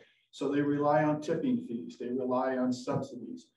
With the process that we're taking, we're generating a high enough uh, forecast on our revenue projections because we've already tested our, our product from the lab perspective as well as the customer perspective. So yes, we are a startup company. We do not have tra a track record. Our first site that's going on in Northern Indiana is part of what this application is, is for. The funds that go into it to help set up that equipment. Um, likewise, the other thing that we're doing is we're working with uh, Department of Agriculture and we've made a presentation to IDEM to go after the tires that the others don't want. And that's the agricultural equipment related tires. Those things are large. A lot of equipment doesn't take them. We don't cut the tires up. We process them whole. So we could take that eight foot tire and stick it right straight into our machine. That lowers our front end cost down because we don't have to cut it up. And oh, by the way, when you cut it up, you just cut the steel up. So now you got to get the steel out of the carbon that your carbon guys don't want. So we've lowered our, our insertion cost by doing this.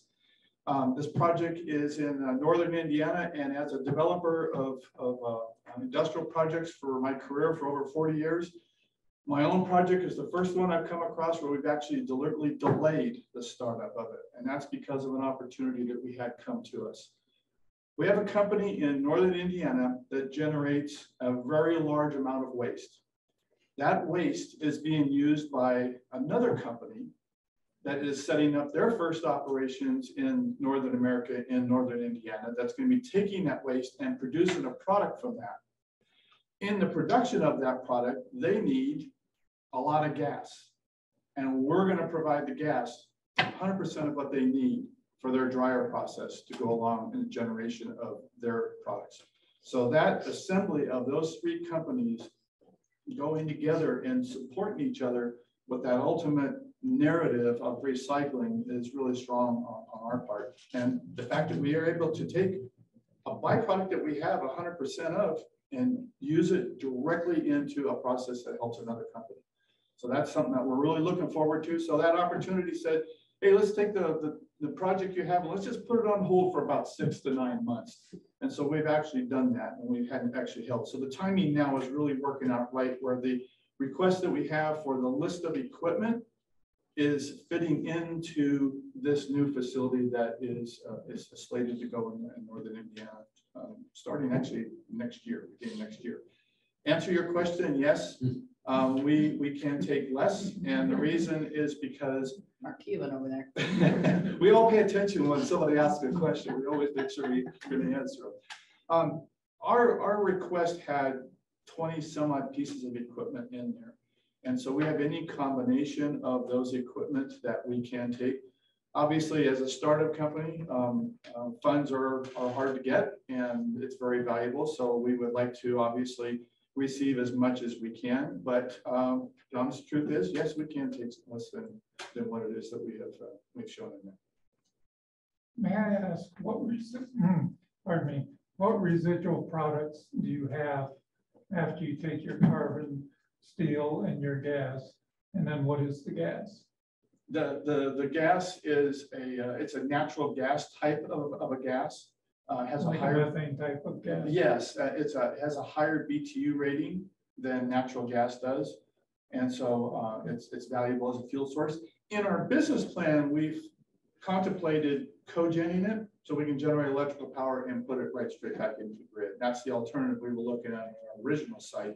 But what this particular gas user wanted it straight, obviously that takes a chunk of money out of our budget by using it as a gas instead of electrical power. Sure. But when we get done with our, pro- our, our process, there is nothing that goes to landfill. We're consuming the tire one hundred percent. Excellent. I saw my first pyrolysis plant back in the eighties uh, in Europe. And there was a gentleman by the name of Dr. Jack Fader in Michigan who did a lot with pyrolysis in the eighties. And pyrolysis works. I mean, I, I don't have any, any doubt that what you're The technology Good. works, yes. the technology works. The Yes. problem, which killed a lot of these projects, was the, the price of oil, number one. And secondly, being able to continuously move the tire into the equipment since it's done in the vacuum.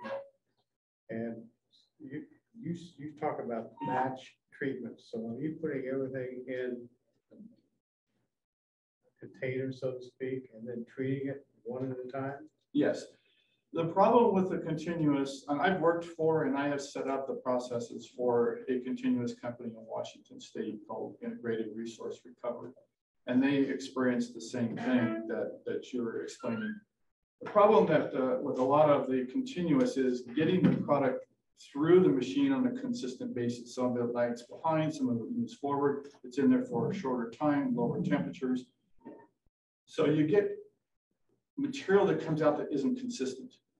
And so consequently, what we've done is we've looked at and said, okay, we're going to focus on the sellability of these products, what processes really guarantees a higher sellability of them? And that is the batch process. And if you guys look at your TV set and watch these programs of how they make food products, pharmaceuticals, paint, metals, all this stuff, what do they use? They use the batch process. One's pot cooking, it all goes in, it's exactly the same, you can control the environment. And in, in doing so, you've got repeatability, you've got quality, you've got audit from one to the next. So when you go for your nine thousand, ISO nine thousand standardization program, you've got the process that follows that. That coupled with the parameters that we're running it at, our carbon, what, our carbon is so dry that that petroleum has been taken completely out of it it rings when you fondle it in your hand. And because you're not stirring it, you're also not getting the carbon in the, the pyro gas, which gets condensed into your oil and into the, the, uh, the, the gas as well.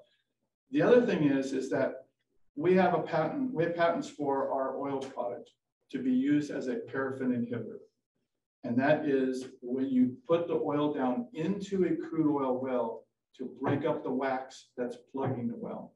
So when oil prices fluctuate, it actually helps us because when the prices go down, they can't afford to drill. They want to unclog their existing wells. That's where this paraffin inhibitor, and that's where the industry comes in. It's a $12 billion industry. It's not something new. It's an alternative product with a green label on it.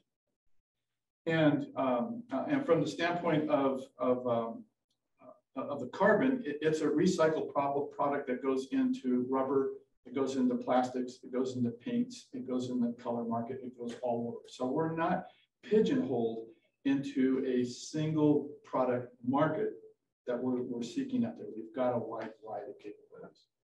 How big is the batch? What's the turnaround time?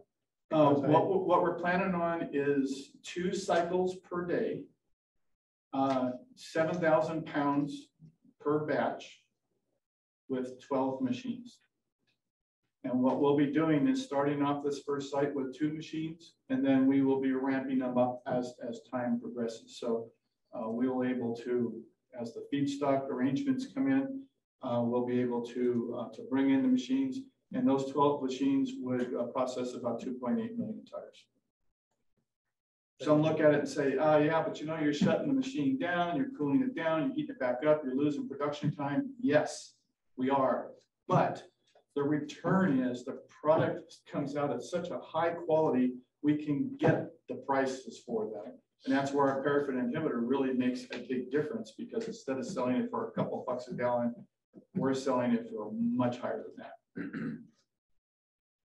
Yeah, yes, how many jobs will be created? We have 76 in the plant. And it's currently operating. Uh, no, we have a pilot machine that we've operated and uh, the site is being uh, finalized actually probably within the next week. And then we will, we will be starting construction. So you have all of your permits required through air, water. No, we're working with Keramida on that. And so they are, are, are working with us on, on getting those. And we have our, our machines being designed as well too. That process is, is in motion. We've, our project is actually now, instead of being a standalone uh, by ourselves, we're now integrating our project with the construction of a 200,000 plus square foot building for the other operator and the logistics systems that we're setting up to be able to get their feedstock. Actually, we can use their trucks to get our feedstock as well too. Convince me that if awarded hundreds of thousands of dollars, that you will receive your air permit. Uh, the fact that we've already had our machine permitted in the state of Idaho and in the state of Wyoming. Um, not only that, when, when pyrolysis was first being reviewed by the state of California, which the uh, University of Riverside did their study, and the EPA, data from when they did their analysis came from our pilot machine. Now, if pyrolysis has been accepted from data from our machine, which is very old, okay, it's got new burners on it, yes, but it's quite old. Plus the fact that we've had it permitted in two other states, I know we're going to get permitted. And when talking with Keramida, they're very convinced. They've seen all of our data. They're putting together the modeling. They're 100% confident. 99% confident that they're going to get the, the permits. Uh, the permits. It's a matter of, of accepting and going through the process. Thank you very much. Any other questions? No, I thank you very much, sir. It sounds like a very interesting and innovative project. Thank you.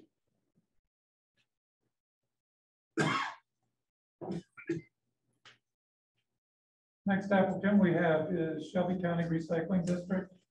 We have a representative from Shelby County available. Good morning, board. My name is Lisa Carpenter, and I'm the executive director of the Shelby County Recycling District.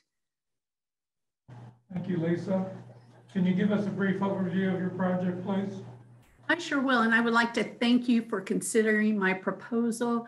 I wish I could be there personally to thank all of you. But our program um, is basically because we've received grants from IDEM in the past. In 2017, the City of Shelbyville Street Department received a grant from your agency to start curbside recycling. Then in 2019, the Recycling District received a grant to develop a recycling guide that went out to all households in Shelby County. With that being said, that increased our recycling numbers. Currently, the city of Shelbyville has committed to several housing developments that's going to increase the house count by 1,000.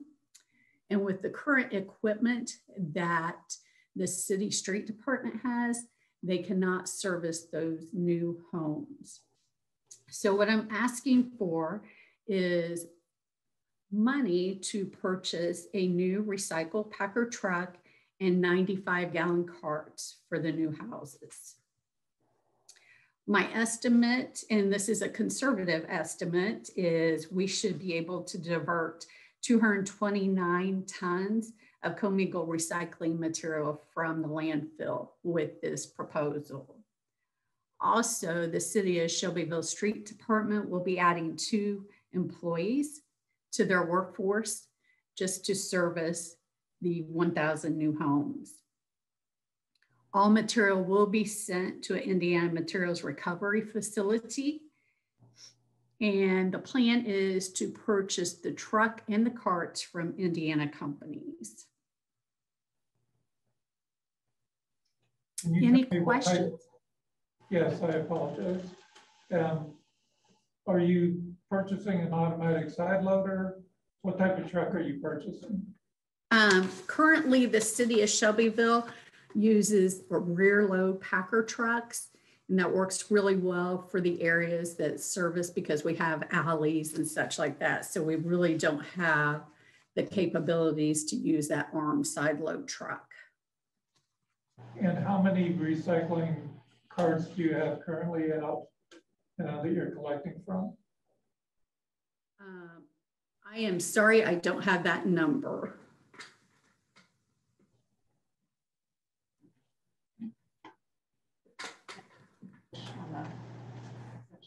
Thank you.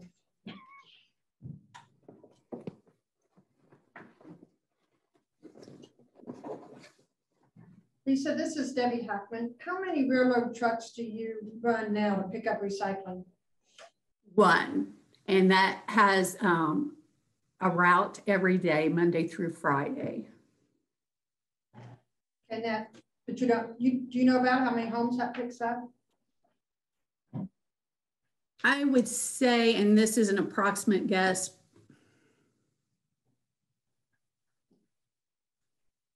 five thousand. Thank you. Thank you.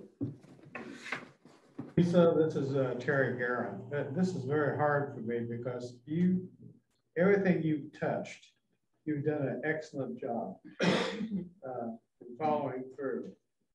Um, But I'm having difficulty with the purchase of a truck, number one. And secondly, what, what is the cost um, uh, that you, that is being charged to the citizens per month for recycling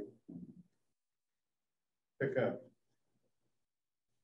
So the city provides that service at no charge to the residents. This is the problem I have because recycling is not free. It costs, it costs.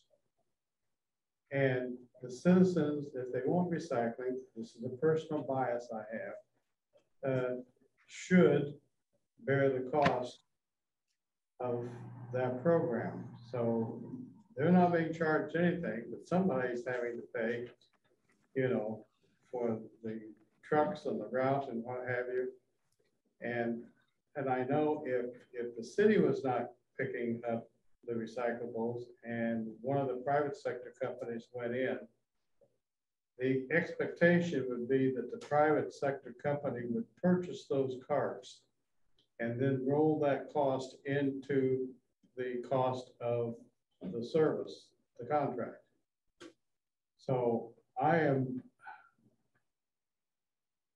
like I said, this is hard for me because I know you and I know how, what a good job you do and everything you touch, but I, I cannot support um, your application because I think the citizens, they should be paying something, if not most of the cost of those cards. That should be rolled, rolled into the cost of the program. Terry, I appreciate your opinion. Um, but our program in 2017 was started with grant money.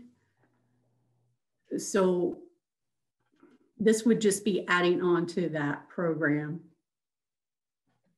Yours is one of them that I was thinking might well have been channeled towards the uh, community grant program. I realize the cost is is up there, but I just I just can't support buying carts. That's my problem. And it, it's not just Shelbyville. If it was any other municipality, I'd feel the same way. The private sector either needs to buy it and roll that into the cost of the program. If the city wants to initiate a, uh, a program, then they need to, to bear the cost initially themselves. It's sustainability is, is an issue in some of these uh, situations.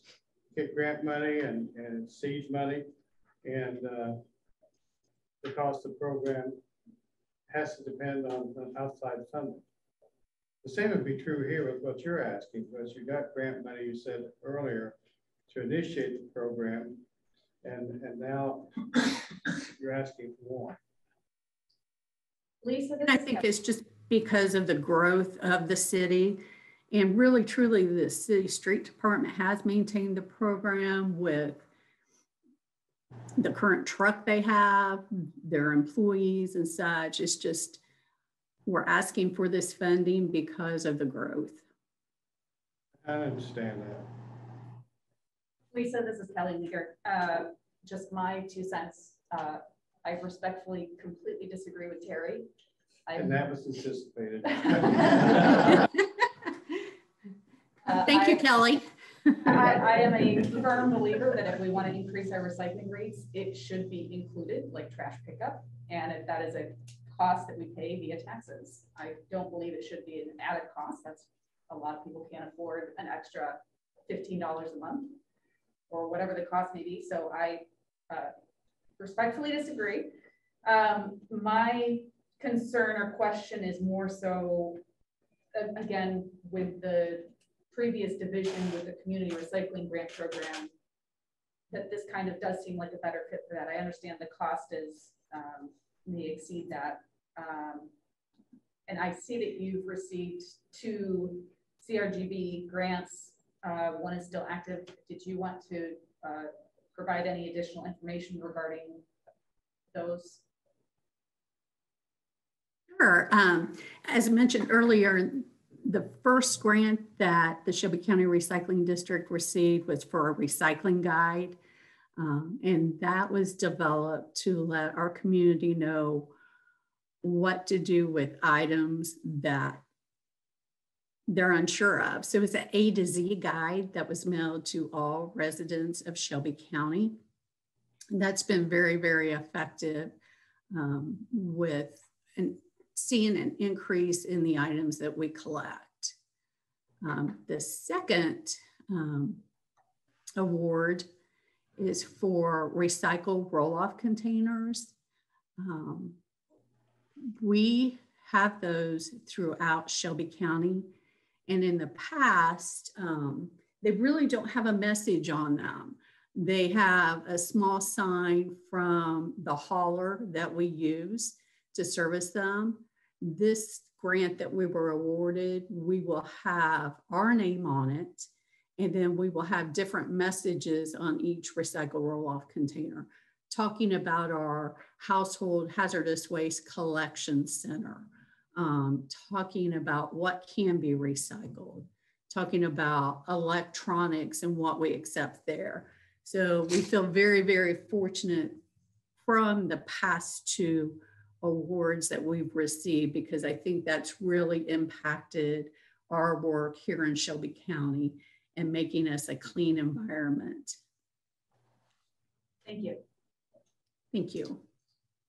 Lisa, this is Bruce Burrow. I'm not going to state my opinion on either Terry or Kelly's comment.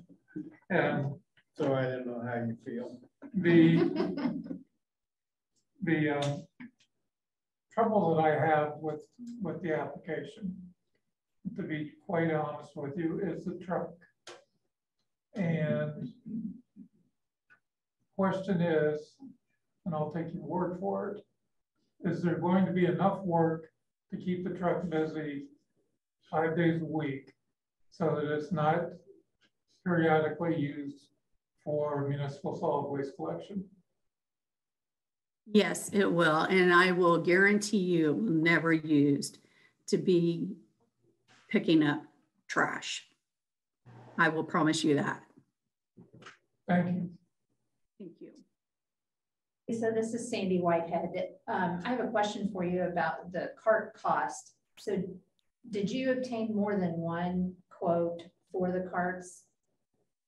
I did not, no. We have used um, best equipment in the past and basically um, the cart per cost is $73.50.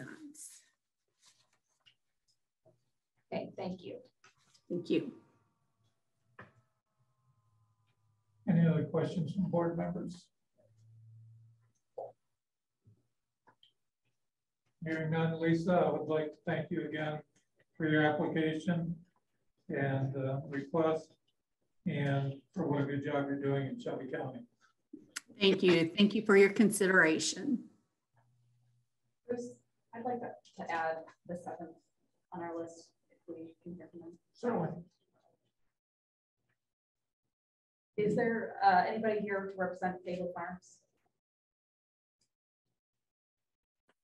Yes. Could you please state your name and give a brief description of your project? Hi there. Sure. Uh, my name is Ryan Conway. Um, I'm the Chief Operating Officer of Fable Farms, Indiana. Uh, I also co-own and co-manage uh, Green Camino Composting LLC, which is a, uh, a curbside composting company here in Bloomington, Indiana. Um, Fable Farms, Indiana uh, was founded in 2017, and uh, we began uh, our composting journey um, in 2018. Uh, at the time, there was a, a separate household curbside residential collection startup that was getting going at the same time as Fable Farms was getting going, collecting um, coffee grounds from local coffee shops and some food waste from institutional kitchens like local sorority houses were right by IU. Um, we ended up, uh, my, my wife, who is the CEO of Fable Farms and the owner of Fable Farms, um, and she's also the CEO now and owner of uh, Green Camino.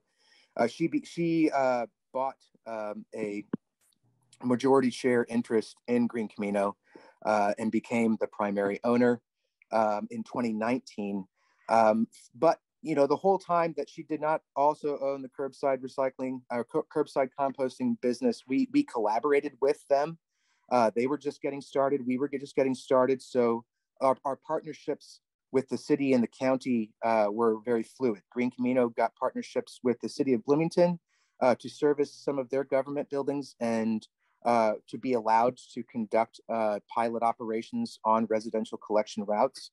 And then uh, Fable Farms partnered with uh, the Monroe County Solid Waste Management District um, uh, on, on pilot programs related to having drop-off sites at their recycling centers. so since my wife essentially bought out the original owners of Green Camino, um, our operations have been integrated in a sense. they're still legally distinct, uh, because of insurance uh, issues. Uh, um, we're a very small composter, and there's a lot of uh, you know not, not a lot of insurance for uh, traditional commercial industrial composting really fits our model size. Um, so uh, we this is like a farm-based um, agricultural product, and, and, and that that just kind of exists and gets created on our micro farm. Um, so through these partnerships, uh, we've been able to really uh, vastly accelerate the collection and diversion of organic waste from Monroe County. Uh, we have doubled every year our diversion rates uh, since our founding. Uh, I think last year we diverted around, I think 178 tons of, of food waste alone. I forget what the total uh, uh, with the uh, with the carbonation materials like the leaves and and and and the the wood chips were.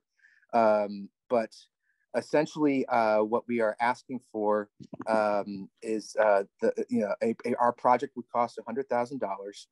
We would use uh, um, 44 of that. Well, essentially, we'd use about 40 of that um, for purchasing um, a medium duty dump truck um, that our facility, Fable Farms, can use for managing feedstocks and for distributing compost uh, to local farmers and gardeners. And um, a Green Camino is contributing $10,000 of our match funding um, to be able to also occasionally borrow uh, uh, the truck, well, not occasionally, we would regularly borrow that same truck um, to be used for collecting from large generators like uh, small grocery stores, uh, breweries with you know large vats, vats of spent grain, um, and then also for hauling manure um, from larger stable accounts. Uh, currently, uh, Green Camino only has um, a dump trailer um, and that, that we share with Fable. Well, Fable Farms owns the dump trailer, but we share it with Green Camino. Um, so uh, that dump trailer can only haul about three, three and a half cubic yards of material. And right now, Fable Farms only owns a very small like, you know, 28 horsepower uh, Kubota compact tractor that we used at the beginning to start our compost operation. Uh, we grew much faster than we anticipated, which is a great thing in terms of uh, uh, pushing the needle down on diverting food waste for the county's waste stream. Uh, uh, however, uh, that means that it, it, quickly became outpaced by our growth. So right now we subcontract the we subcontract an operator who owns a Bobcat, um, like a, nine, a 1992 Bobcat uh, that has plenty of mechanical problems and breakdowns and is not very efficient. Um, and then also uh, he's the owner of a small dump truck that is subject to the same kinds of breakdowns. Uh, since he's a contract employee, he sets his own kinds of hours. So when he's sick or on vacation, it's difficult for us to really manage throughput. Um, so things slow down whenever he slows down. So our, our hope today uh, would be to be able to secure uh, funding to uh, allow us to uh, get a facility, des- a facility designated and dedicated track loader to manage uh, uh, all of the inputs and the feedstocks and do the turning, do facility maintenance and load the distribution trucks. And then also the remaining funds for a medium duty dump truck uh, for which uh, we can distribute the compost or also uh, let uh, Green Camino use it for picking up large generator food waste, uh, spent grains, and manure. Uh, this would allow us to essentially increase, essentially triple our diversion rate of food waste um, from a max of about 300 tons, which is what our which is what our facility can max out at right now, to about a thousand tons of food waste because with that consistent throughput and that consistent ability to be uh, constantly aerating the piles uh, and, and, maintaining those hot temperatures uh, quicker, uh, uh, we, we, currently, of course, you know, meet, meet all of the regulations and designations that we've set out in our registration, but we can do it faster and we can make it hotter quicker. Uh, we just don't have the we don't have the equipment really to do so. So right now, really, our ask is just for support for us to allow our facility to become independent and uh, really operate, you know, seven days a week rather than just on the timelines of this person that we can currently subcontract. So with that that increase, it sounds like you, mentioned seven days a week. Are you going to be hiring additional employees?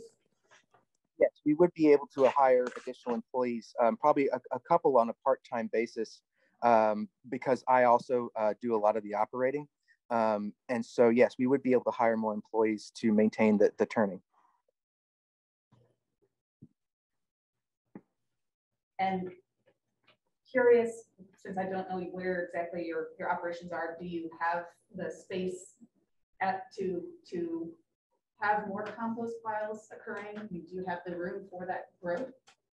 Yes, yes. The, so we are located northeast of Bloomington uh, I, our address is still listed as a Bloomington address, but we're outside of the municipal boundaries. Um, it's uh, like an eight and a half acre uh, small farm.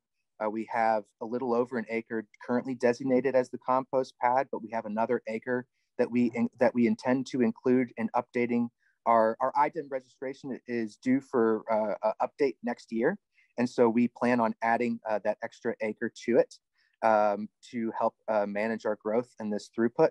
But currently uh, we could still squeeze probably an extra uh, 100 uh, tons of food waste composting, which would imply a few other uh, 100 tons of, of like wood chips and leaves onto the ex existing pad.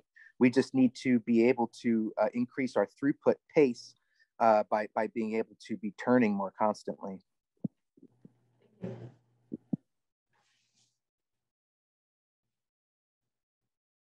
Any other questions from board members? Oh, sorry, I just wanted to say I'm glad that you wanted to hear more about this project because I, um, even though it doesn't have, um, it's not as large scale as um, the, you know, the first few projects that we heard from, um, I feel that it's a really good grassroots effort project. So thank you. Yeah, thank I, you. I, um, you know, as I've kind of been looking through the ones that we've reviewed thus far, and understanding that some of them have been uh, influenced by Terry and willing to potentially take less, I, I'm hoping that we can maybe split some of the funds and hit some smaller projects because I, I agree, I mean, we've got some really strong, large projects that could you know, use the full five hundred thousand, but it would be nice to, to split some of them up a little bit. We hear from Clark County too. Mr. Chairman. Absolutely, I do have to recuse myself from that one, so I'll turn that over to Kelly. Sure. We have somebody here representing uh, Clark County?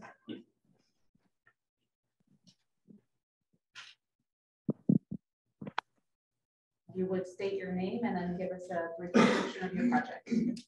Uh, Chris Jackson, um, with Clark County, uh, Transfer and Recycling, um, actually owned by our holding company, DC Holding Company, which, um, we've been in business, uh, it's Christiani Enterprise. I've, uh, been with eighteen years. I'm now the majority owner of the company. We employ hundred and eighty people with, um, with DC Holding. Um, we, uh, do about forty-five million yearly in annual revenue. We have several entity, an excavating company, a, um, waste division, um, so our waste division has grew significantly in the last ten years in the Jeffersonville, Charlestown, um, you know, this side of Louisville market. Um, we, we have seven hundred, uh, roll-off and compactor boxes, and we're at lots of different, uh, industrial facilities with the new River Ridge facility, the six thousand acre River Ridge facility. They have, uh, building after building, you know, million square foot, half million square foot. We take their waste, um, we're the primary hauler in there. And a lot of it goes to different landfills. So we, we're already invested two million in the transfer station. It's almost, it's probably eighty percent constructed now. Um, our grant application is we're wanting to install a baler because we have several, um, like, we work like seventy or eighty industrial customers that we have, you know, fifty-three foot van trailers where we collect our loose leaf cardboard and most of it gets transported to a facility in Louisville where it's recycled. Uh, If we were able to have our own compactor baler right there on our side of the river, we'd be able to offer this service to lots more of the industrial customers because we'd be able to take smaller quantities rather than have to have fifty-three foot van loads every week or whatever in, in order to justify the tolls and whatnot it takes to go to Louisville with the, with the waste. So we'll be able to separate some of the loads when they come into the transfer to go straight to the baler to able to, you know, cardboard. And then we have customers like Sazerac, which is a, uh, they took over the Pillsbury facility in New Albany. You know, we get their PET. We have all their plastic bottles that we'll be able to bale through the baler. Um, we currently move around, uh, recycle around, um, I think around two million, uh, pounds of cardboard and PET a year currently. So we've already got a baseline we can start with to utilize our, uh, baler if we're awarded this grant. Um, what's gonna be great about this, we're gonna be able to utilize the baler to, so that we can use that as part of our marketing plan that we already have in place, where we're going out to meet with these industrial customers. We have a base already, but we're expanding. We grew, uh, from, we grew like four hundred percent over the last year. I think our waste industry company's doing like five million of our forty-five million in sales for our holding company. So like I said, we're a family-run company. Um, I wasn't family. I've worked here eighteen years. I bought in, I'm a majority owner of the company now. Uh, I started buying in in two thousand fourteen. Um, we've been really blessed with the, with the development of the industrial park right there next to where we're working. And we have great relationships with the municipalities, Clark County Recycling, we haul all their recyclables too.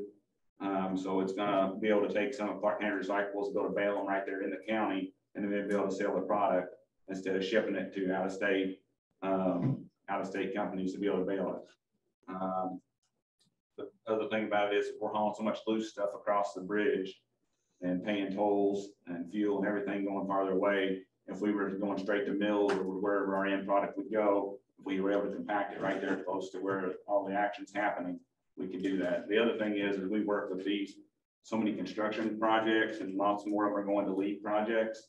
So in the construction industry, you know, we don't put compactors there like we do in industrial facilities. They just go in loose. So we'll be able to bring those roll-off boxes straight to our transfer facility and bale the cardboard and put it all together and be able to give them the LEED uh, the LEED certificates in order to help uh, achieve it with the construction industry, because we see so much waste. The other part of it is, is we've held, Dan Christiani Excavating um, has held the um, first IDEM uh, composting permit, and we still hold it to this day. Um, to give you an idea on composting, we do it on a very large scale. Um, we like, we have eighty thousand cubic yards just on site right now that we're constantly turning. We take all the municipal um, yard waste, trees and debris. We have a, um, we reutilize it back to, uh, we compost it, and we have a dirt operation where we collect all the topsoil and then we reutilize the um, compost mixed back in with the topsoil to have a product that we sell. We have five retail locations throughout Southern Indiana and Louisville where we sell compost, where we mix it in with the topsoil, we sell mulch and landscape products. So, um, like I said, we just celebrated our 50th anniversary this year. Um, Dan, the founder, is still very much involved, although he's out of the owning portion, but he's still there every day at 6 a.m. for us to make sure we're doing everything right. But uh, me and his son now own the business, and it's uh, it's going really good. So it's and to answer your question, our ask was a, our project is uh, the compactors. Um, um, we're asking for 240, uh, our, the cost, machine cost is 244,000 for the baler. We're asking for 122,000. Uh, we'd be willing to do the project still if we were to get $100,000 even. Um, because we, we really want to do the project, but we can't, we can't really make it, the numbers work um, without, without having some help on the project. Um, like I said, it, we're, we're producing 60, um, 60,000 tons of waste going to the landfill now.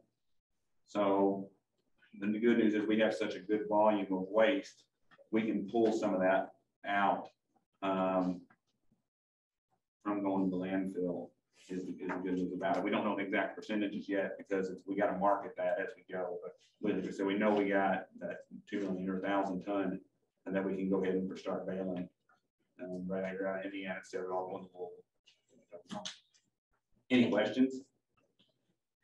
Did, did you submit an application last year? Yes, we did submit an application last year for a um, for a grinder for our a new grinder for our composting facility.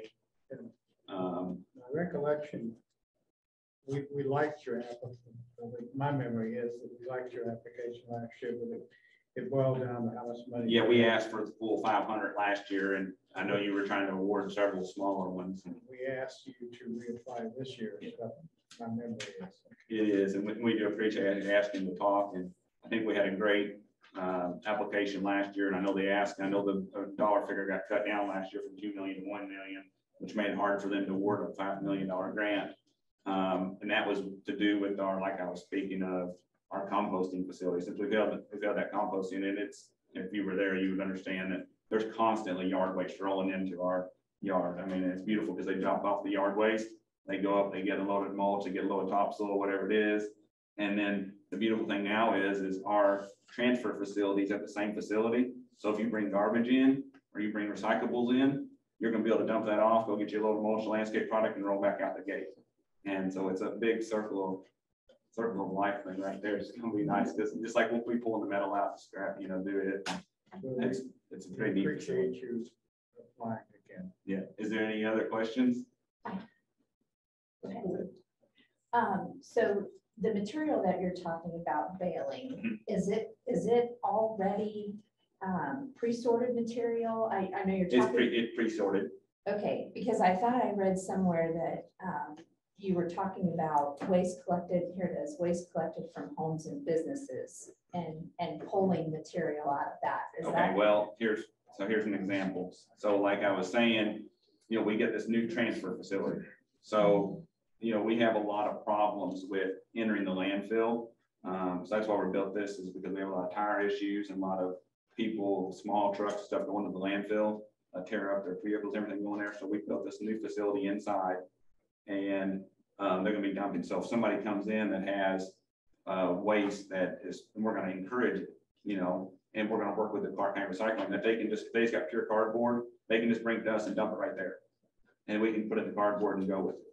So there's gonna be some of that in our transfer facility And then if we get a load that is ninety percent, we're not gonna sit there and hand sort everything. If we get a cardboard uh, load that's ninety percent, we, we're, everything's gonna be done with the excavator and thumb. Okay. And we've, we've worked with, uh, Ray's Trash in Indianapolis. We've got a real good relationship with them.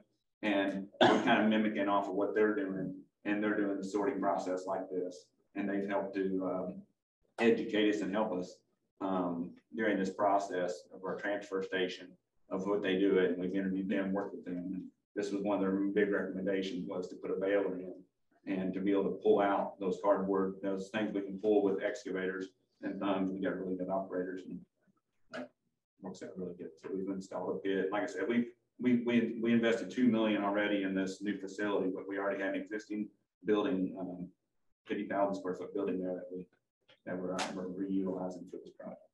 And then your intention is to bale more than one commodity Yeah, or, so current, so cardboard will be the primary, but we also get PET from like that Sazerac and some other uh, Niagara Bottling is a big company there in River Ridge.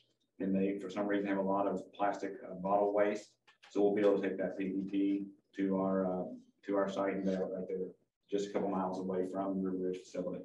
and you have storage areas for this material to stage it. Yeah, yeah, we have multiple, you see in the area, you understand, we got multiple large, Bruce, we have multiple large, large buildings. Thank you. Huge ones. Yes. What kind of cost savings are you guys gonna see by not having to take it across the river?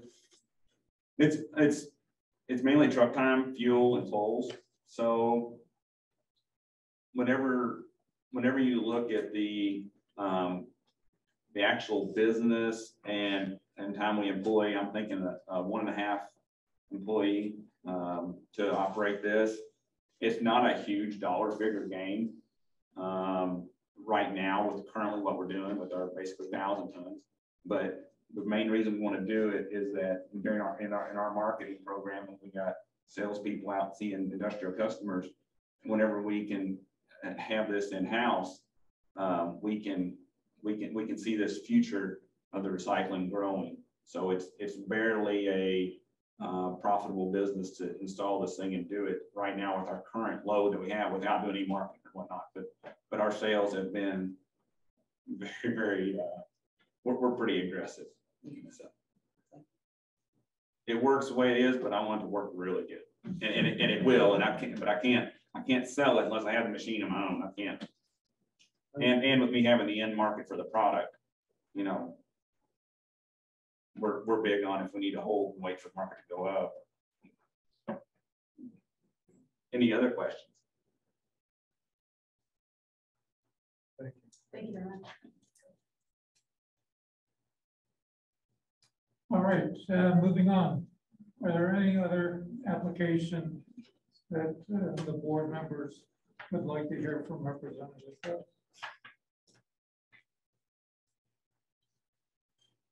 I see Mr. Caldwell back there. I'd like to hear from him.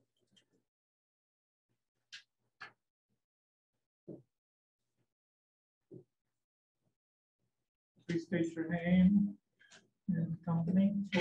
Morning, my name is Jordan Caldwell, with Caldwell's Incorporated. Uh, Just a brief history. My family owned the landfill in Morristown since nineteen seventy.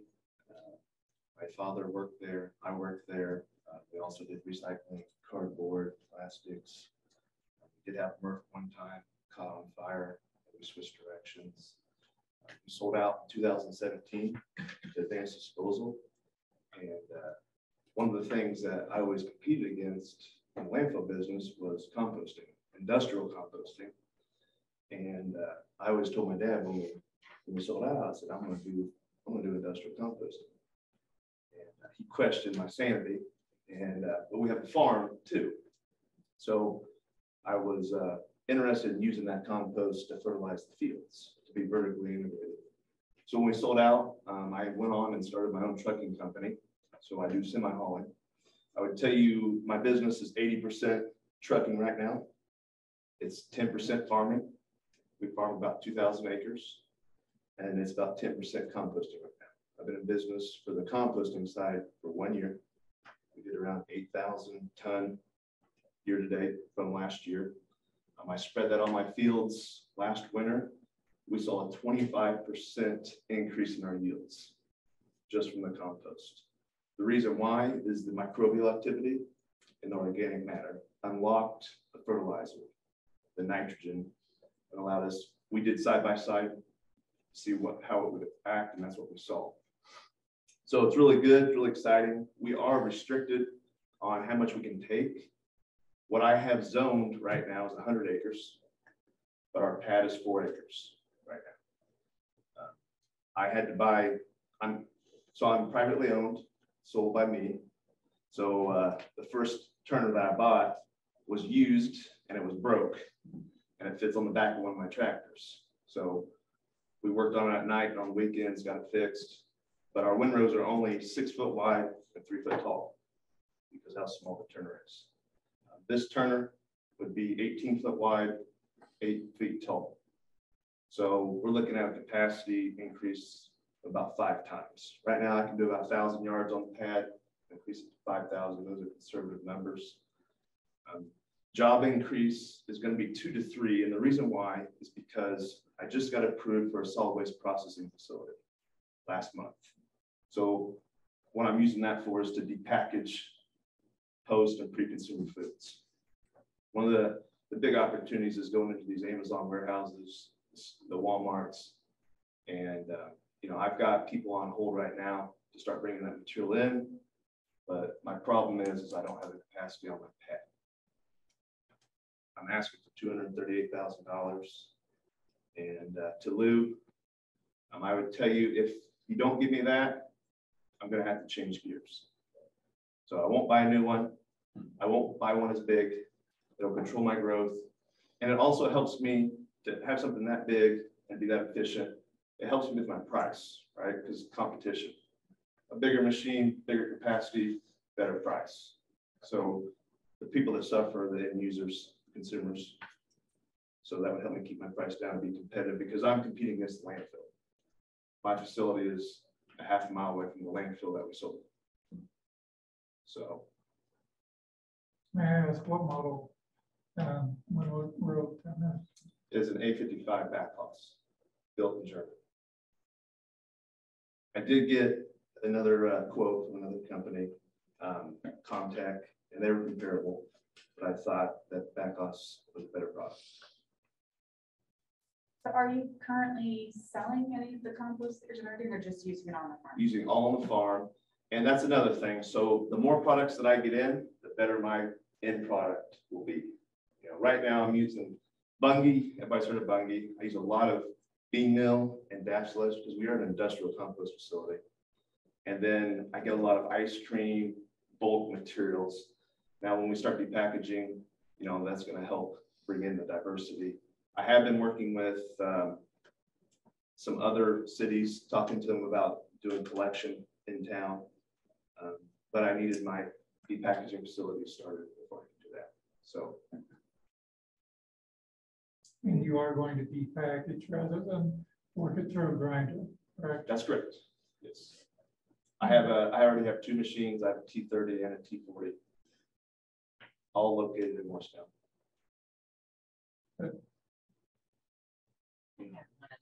Question. You're currently registered as a land application for your compost. If you were to expand, would you anticipate getting a compost registration at all? So that's a good question. I actually had a meeting with IDEM about that because that's what I wanted to do. And they, they advised me not to do that because of how big and what my future looked like. Uh, I wanted to get into the industrial side. So they suggested that I go this route. Encapsulates everything.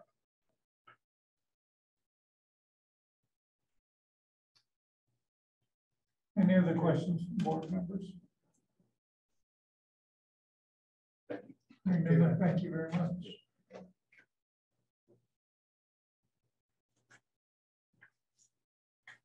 Any other applicants that the board members would like to hear from?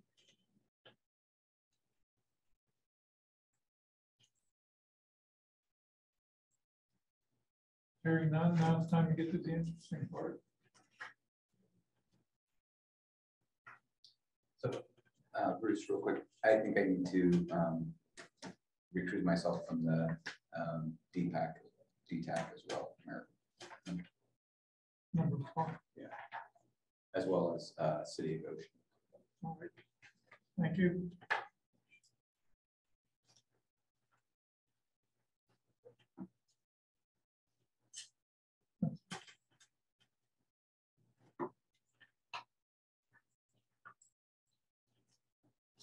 Is there anyone in the audience, and we all appreciate your involvement. Is there anyone in the audience that would like to speak at this time?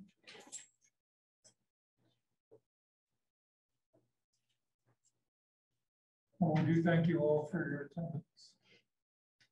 Um, um, we can go an executive committee where if we have to work through these numbers. Do we have the opportunity to go into uh, like an executive committee or do we have to work through these numbers Probably. publicly?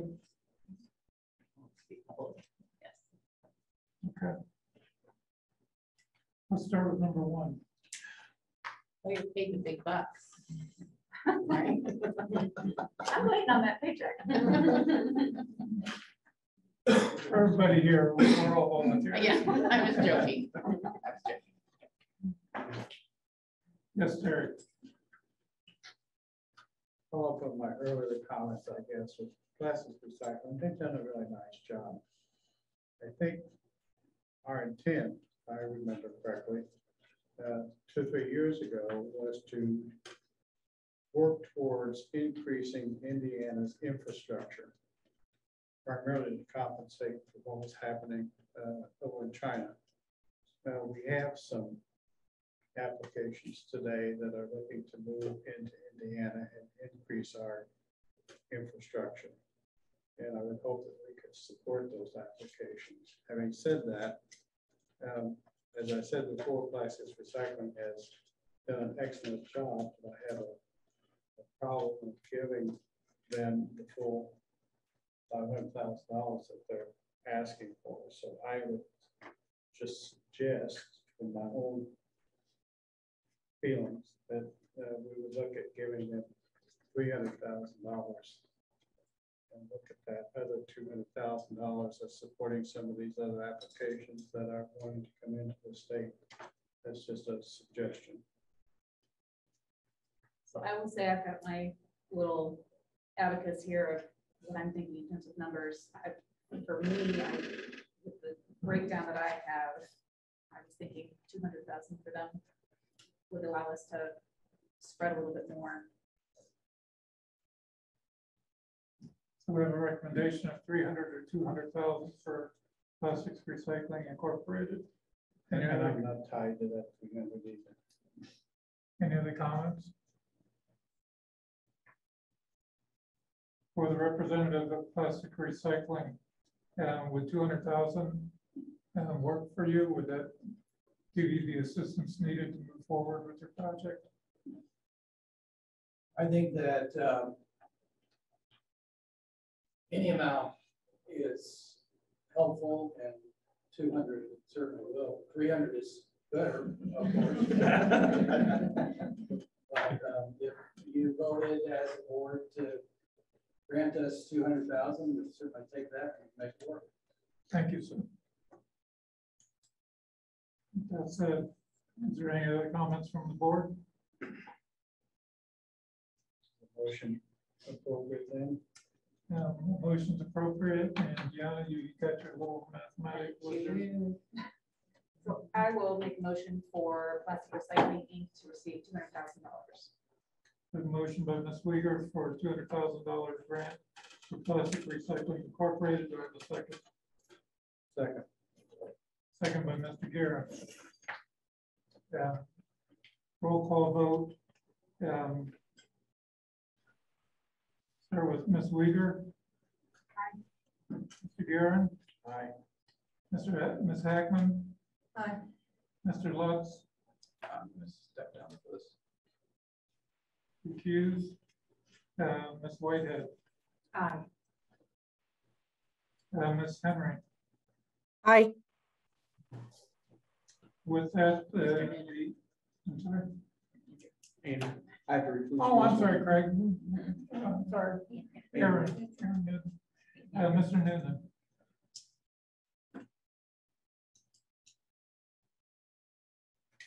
Is that affirmative or negative? I have to, reclu- I have to, re- uh, You recuse? yeah, recuse. And I vote yes. So with that, the motion carries um, unanimously with two recusals. Thank you. So for Revolution Plastics Holding, um, I, I found this project really compelling. And I know that it is rare, but I actually would like to see this one fully funded at the five hundred thousand. And I would concur with that.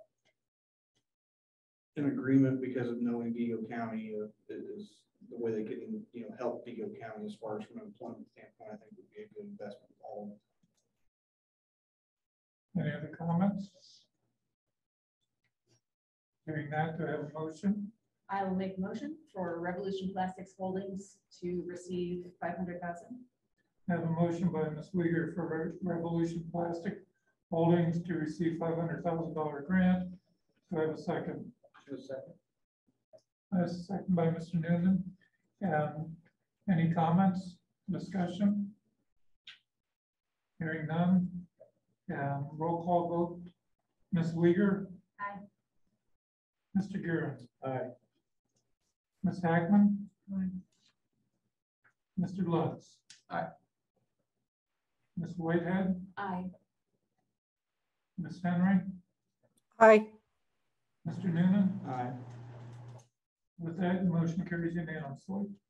Thank you.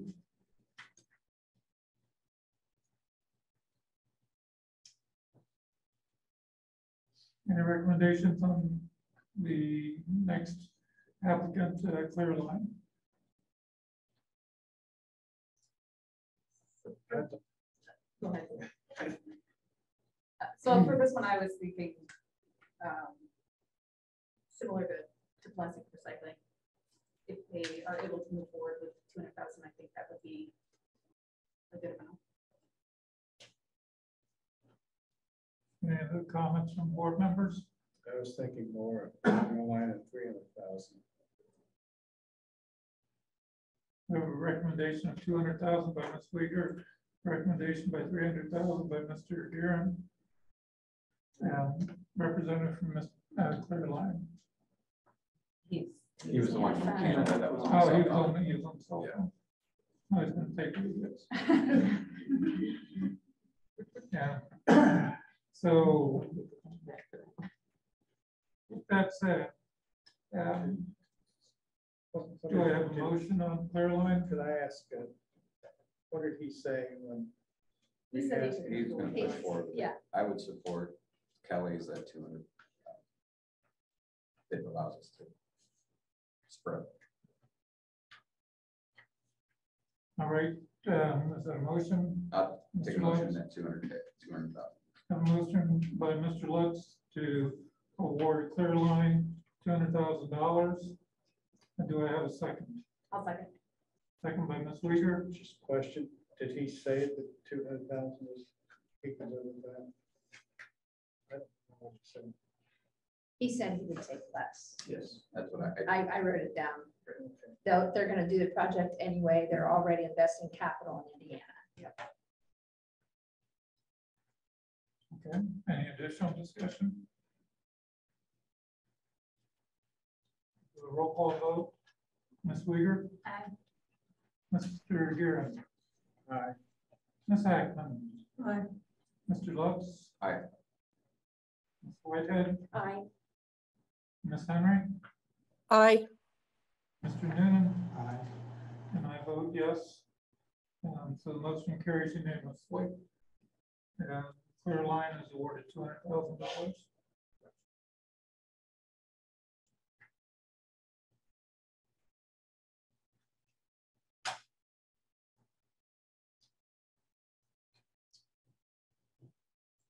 I have to recuse myself from the next on the list, DAK Americas.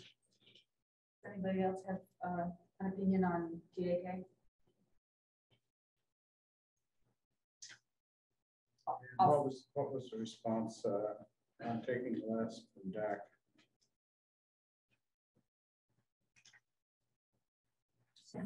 What was it? He's Terry. Board member Terry, he's, he's asking. I'm sorry, what was the question? Were you able to move forward with the project if not awarded the full amount? Whereas that's not my complete uh, decision, I wish it was.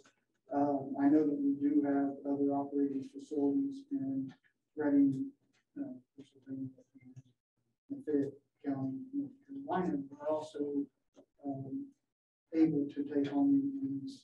uh,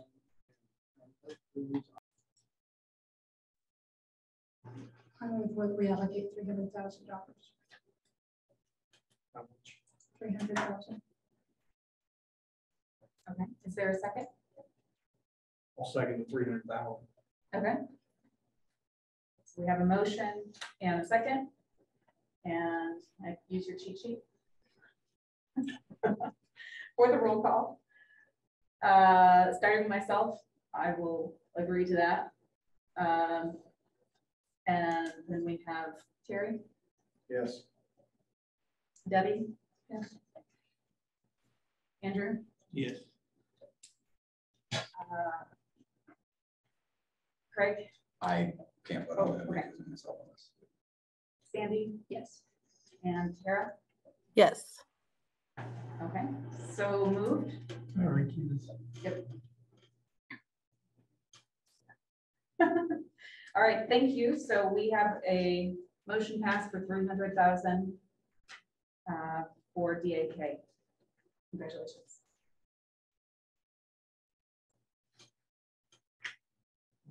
That leaves us with eight hundred thousand dollars. So the next, uh, applicant we heard from was plus five Indiana. Um, This was the pyrolysis. Plant, we've had several over the past two, three years, pyrolysis applications, and they didn't. They weren't funded because of the questions about each of them. This one is different because of the batch approach. And I think it would be, um, personally, like to see them funded just to establish that technology in Indiana, because I don't think we have, we don't have any other pyrolysis projects, do we, in Indiana? I don't think we do. There is a one in Terre Haute, uh, making carbon, uh, mainly. It's, uh, yeah, I, I- I don't- don't know the status of the operation, it's um, it's still in progress, uh, long term. Yeah, I also found this one interesting because of the ability to take those larger agricultural products. And I, I also would agree, I'd like to see this one funded at a higher amount. My, my opinion is, uh, I'm excited that there are no residuals. And, um, it seems to be a pretty closed loop technology uh, for all the products generated. So I would be in favor. Significant. This would be just my question is because in to be in like, and this is just for, for discussion, um, you know, we have, I, I kind of looped number three, clear line and five in line together.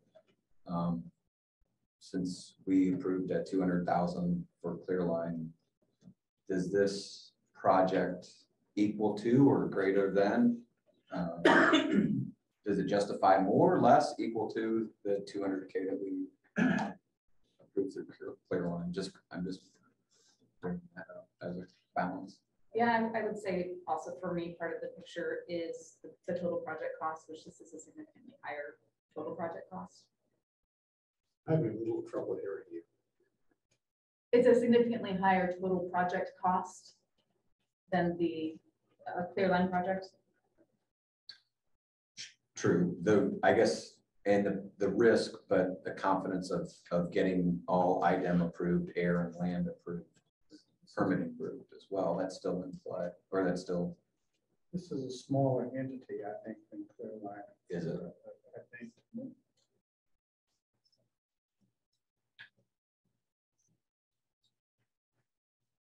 Could I make a motion, Mr. Chairman? Well, I move that we um, fully fund um, the plus five. You're not gonna make it four hundred thousand, make the math easier? Okay, 400,000. All right. I'll When you get to the bottom, the math is gonna come harder. All right, four hundred thousand is what I. Have a motion by Mr. Guerin to award um, plus five Indiana LLC four hundred thousand dollars. Do I have a second? I will second that. I have a second by Ms. Weider. And any additional discussion necessary? Hearing none. Roll call vote.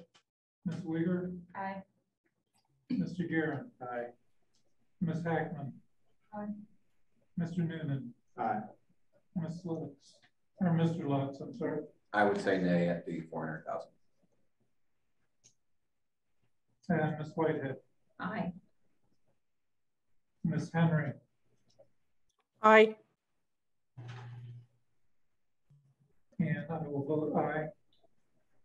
So the ayes have it. Um, one, two, three, four, Seven to one. So motion carries. Thank you. The uh, Clark County application. um, Did suggest to them last year that they reapply, they have reapplied. And uh, I think their request is uh, acceptable in my in my view, and I would move that we fully fund them. Um, does anybody want to second that? I guess my question, are we going down the list or can, or can we flip over to the different numbers? Does, do the numbers? I think we can discuss them in any order we Okay. choose. I, I will say my, this is a challenge for, for everyone in the audience. You have wonderful applicants, lots of wonderful applicants, and we did go through a process uh, to rate each one individually and come up with a ranking system. And for me personally, even though it is a really great project, and I wish we could fund all of these, it seems that it is not exactly in alignment to skip past some of the other ones that were ranked higher without having given all of them the same opportunity to uh, discuss. And because they were ranked lower on the list, I'm personally not in favor. Even though, again, it's a great project. If we had all the money, I would absolutely say yes, but that's my opinion. Anybody else want? My motion stands. There's Second. There's no second. Fair discussion. So there is no second? Is there more discussion? Are they willing to take less? That's my, that's my first question. I couldn't remember if we asked that. I'll take, I'll take, I said I take hundred. Okay, I couldn't remember what that number was, so I apologize. That's still, that's what makes the project work. Make the math work. Any other discussion? Motions? Was the motion seconded? No. No. Okay, so should we be discussing the motion? if it's seconded? I don't. Yeah, there's, Need a second. so if there's no second, then we move on. So I get, well, are we at the full or the hundred? Terry had made a motion for the full amount. I'll do the full. I'll, I'll make the second motion for the full. amount. Okay. You already cheat sheet. Yes, So we have a motion for the full amount for Park County. And a second, so we will do a roll call. Uh, Starting with myself, I am a no. Terry, Yes. Debbie, Yes. Craig, Yes. Sandy, Yes. Tara, No. And Andrew. Yes. All right, so we have two noes, the ayes have it, so the motion is carried. Thank you, Kelly. Moving on. Um, I believe we had the opportunity to discuss Fable Farms LLC. And discussions on Fable Farms. I would move to fund Fable Farms at fifty thousand. Second. Have a motion by Ms. Weaver and a second by Mr. Noonan to fund Fable Farms, Indiana LLC for the full amount of fifty thousand dollars. Any discussion? Is that truck included? It is. Yeah, the truck was forty, it? It was the biggest, I think It was a forty thousand, so I think. Between that and the track load.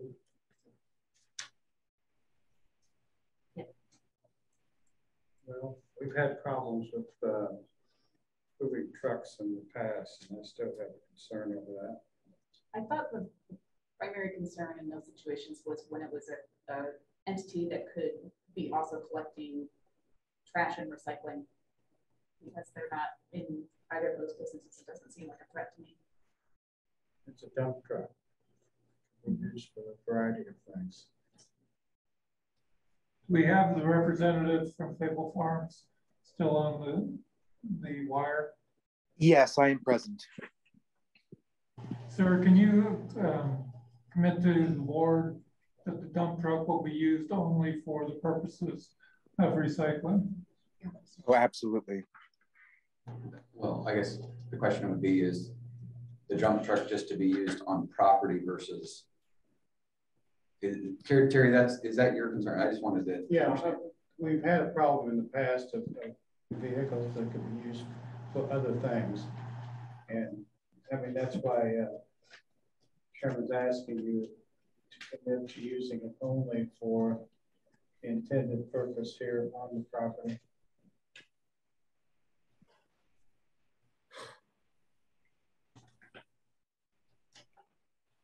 Understanding was that it- it was not specifically solely on the property, that they, they are transporting and collecting. Yeah.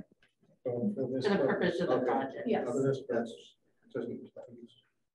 So do we have your commitment that the dump truck will be used solely for the purposes of the recycling project? Yes, absolutely. Fish Camino too, so that an issue? I don't know. Green Camino is a sister company. Will this truck be used at all for their operation? Yes, the, the intent was to share the truck such that um, large producers uh, like uh, you know the, the spent grains from our local breweries, um, manure from local stables, and then large batches of uh, uh, wasted produce from local groceries could be transported by the truck back to the facility. And then the truck, you know, subsequently later uh, for the compost distribution process, of course, would be cleaned and then loaded with uh, that compost that we deliver to farms. All right. Well, that would, that would coincide with our, our goal. So, thank you. Thank you. We have a motion second on Fable Farms. Any additional discussion? Hearing none. Uh, Ms. Weger, Yes. Mr. Guerin, Yes. Ms. Hackman, Yes, and Mr. Noonan, Yes. Mr. Lutz, Yes. Ms. Whitehead, Yes. Ms. Henry, Yes. and I vote yes. Motion carries unanimously. Congratulations. Thank you.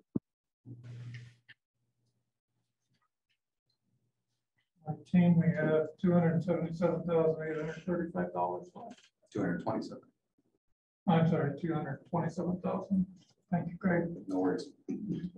It just, well, so the, the comment goes into, we, um, Mr. Caldwell came and spoke and did a very uh, eloquent job. Appreciate that. Um, the ask is over the amount that we have left by, it was like eleven thousand. So I guess the question is, is we got, we got less in the kitty than has been asked, so um, kind of the question is, is uh, do we, you know, do we offer less to Caldwell's or do we give them the, the, the remaining left and then we're, we're um, out of funds? I would ask Mr. Caldwell if you would be able to move forward with two hundred and twenty-seven thousand eight hundred and thirty-five dollars. Yes, ma'am. I have a question. I mean, eh, has it been decided that Shelby County is, you're not gonna consider? Oh, that? that's right. We gotta go. That's- I mean, I, I'm just bringing it up. Sorry, I jumped over this. I think there, I heard of at least some hesitation because of uh, a couple of things, but you know, one of them being that they are kind of a better fit for the other grant program in some ways.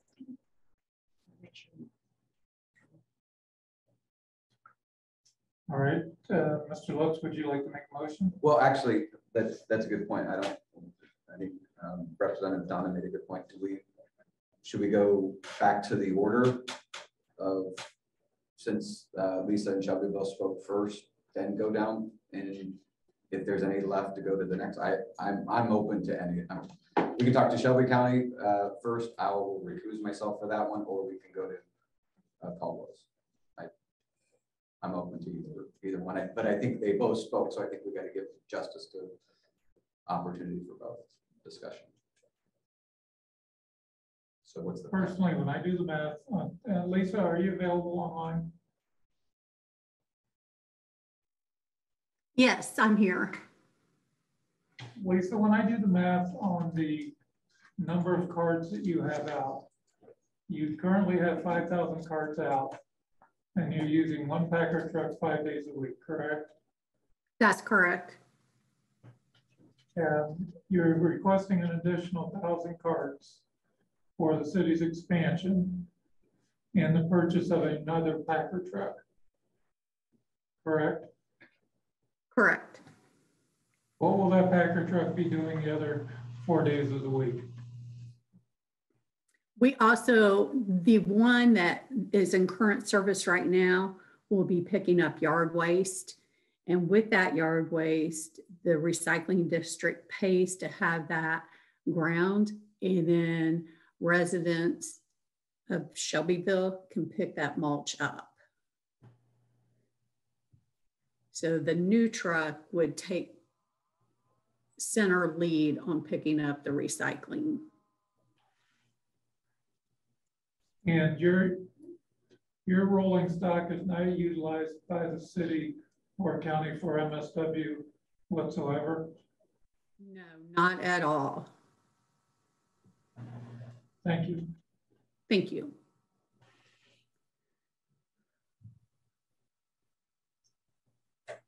What's your pleasure, board members?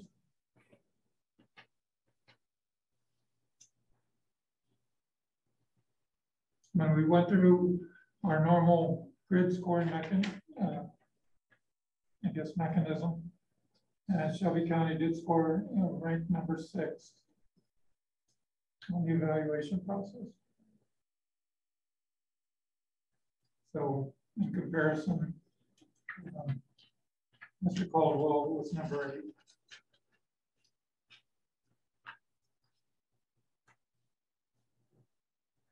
I'll say my, my preference is to move on to Caldwell.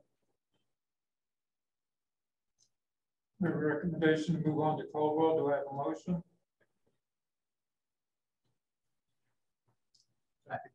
I can't because I recuse myself on Shelby County.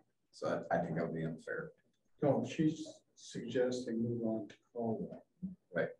But is that a motion? You're looking for a motion. I'm asking for a motion. I will make a motion for Caldwell to receive two hundred and twenty-seven thousand eight hundred and thirty-five dollars. And I would second that. I have a motion by Ms. Uygar to to award Caldwell Incorporated two hundred and twenty-seven thousand, eight hundred and thirty-five dollars. And I have a second by Mr. Guerra. Any additional discussion? Hearing none. Roll call vote. Uh, Ms. Weider, Yes. Mr. Guerin, Yes. Ms. Hackman, Yes. uh, Mr. Noonan, Yes. Mr. Lutz, Yes. uh, Ms. Whitehead, Yes. Ms. Henry, No. and I vote yes. Motion carries. The ayes have it by seven to one.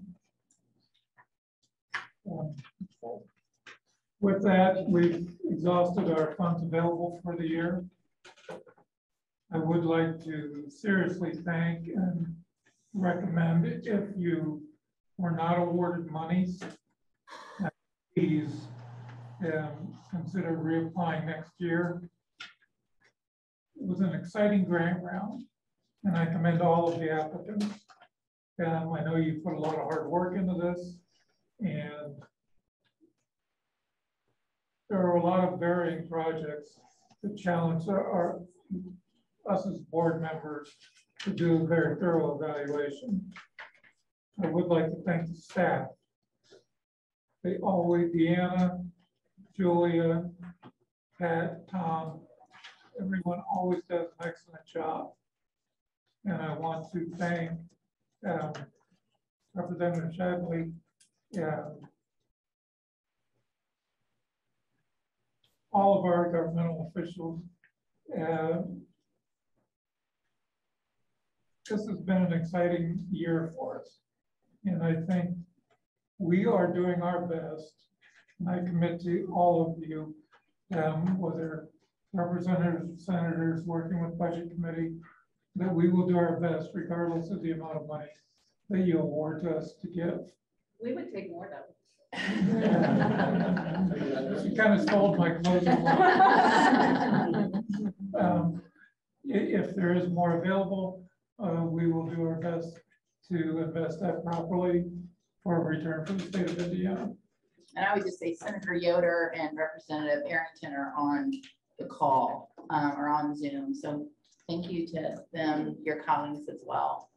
Yes, thank you from the board. We appreciate very much your support. Okay, with that, um, We have a few other. we have a few other. On the, the agenda. Guess I have to get back to my agenda. We will try to push through and I know that we're past our noon. All right, uh, next on the agenda is the other, and I'll turn that over to Deanna. First, I, I apologize, but we need to go back and uh, we do need a approval to uh, submit the recycling activity report to the legislature. That needs to be a roll call vote. Do I, okay, so we need a vote to submit The recycling activity report recycling or activity index, report. your index report. Um, so with that, we'll do a roll call vote. Uh, Ms. Weider? Aye. Mr. Guerin? Aye. Ms. Hackman? Aye. Uh, Mr. Noonan? Aye. Mr. Lutz? Aye. Ms. Whitehead? Aye. Ms. Henry? Aye. And I vote aye.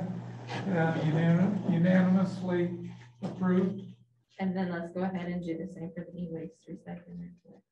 Um, need a vote, uh, to submit the e-waste recycling report. Yeah, Ms. Weider, Aye. Mr. or Mr. Guerin, Aye. Ms. Hackman, Aye. Mr. Noonan, Aye. Mr. Lutz, Aye. Ms. Whitehead, Aye. Ms. Henry, Aye. and I vote aye. That motion carries unanimously. Our next board meeting is um, going to be a strategic planning process to, to go over that uh, Indiana recycling infrastructure and economic impact study and see how we can use some of those recommendations and apply some of those recommendations and how we put out our uh, RFP, our request for proposals and, and guide our grant funding in the future.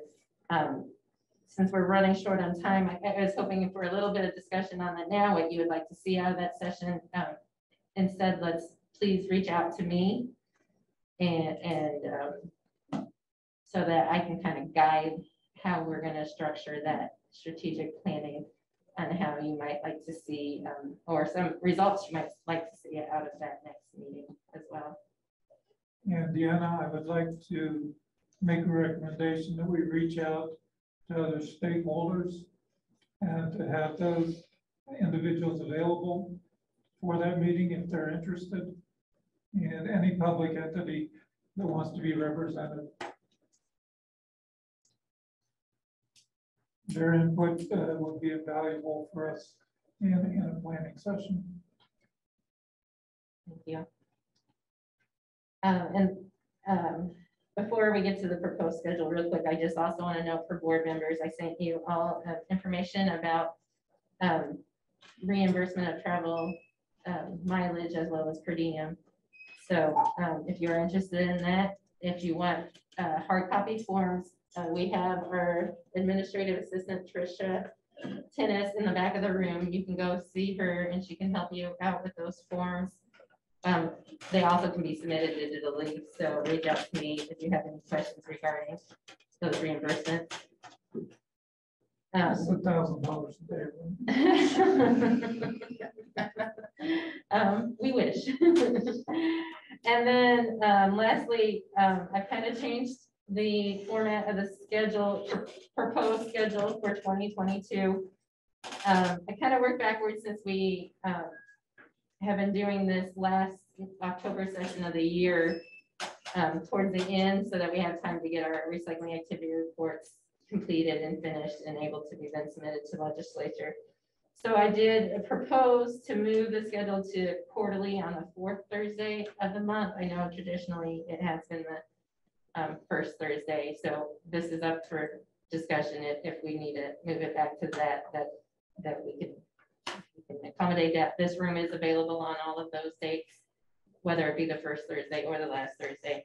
The other thing that I wanted to bring up for our legislators is um, that first session, if they were wanting to be able to attend and possibly even the April one. Um, if they have issues, would like to see it, on, is there another day that might work better for you? Um, Because Thursday morning, we're in session. Thursday mornings, you're in session. Okay, um, what day in the week is better? Wednesdays, we have committee. Tuesdays Mon- Tuesday mornings would be better. Tuesday mornings. Is there anybody on the Zoom call that has uh, issues with maybe possibly moving at least that first? Would we need to move the first and the second of this? What's, what's? April twenty-eighth. I know that's right at the end of your First sheet. should be finished Okay, on the short section. okay. It's short. Um, We want to move Thursday. Thank you. The January twenty-fifth work, Representative? Oh. Or, or maybe Senator Senator Yoder Yoder. or Representative Errington would, um, January twenty-fifth in the morning work? For you?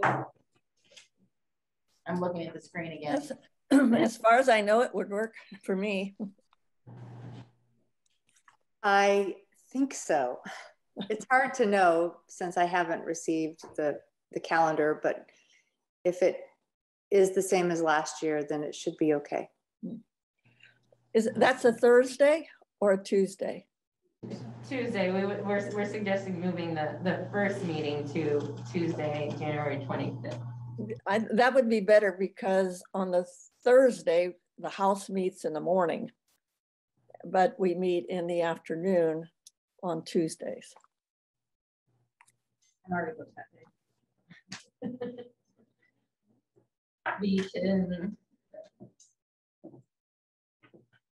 We'd appreciate all our board members being at that Move to meeting. the, maybe the following week. Yeah, that's Or what I the was week trying to put on prior, the the calendar. eighteenth. January eighteenth. teaching that day as well. Are you available on Tuesday in January? Let's see. Let's find out together. Oh, well, that's. that's January great. eighteenth, that's not Martin's Day, January seventeenth is Martin's Day, right? Ready that Monday. Um, Yes. January eleventh. Tuesday or February first. First day back. I'm as surprised as you are that I'm already booked out that far. Would, would the uh, legislators have a preference between January eleventh or February first?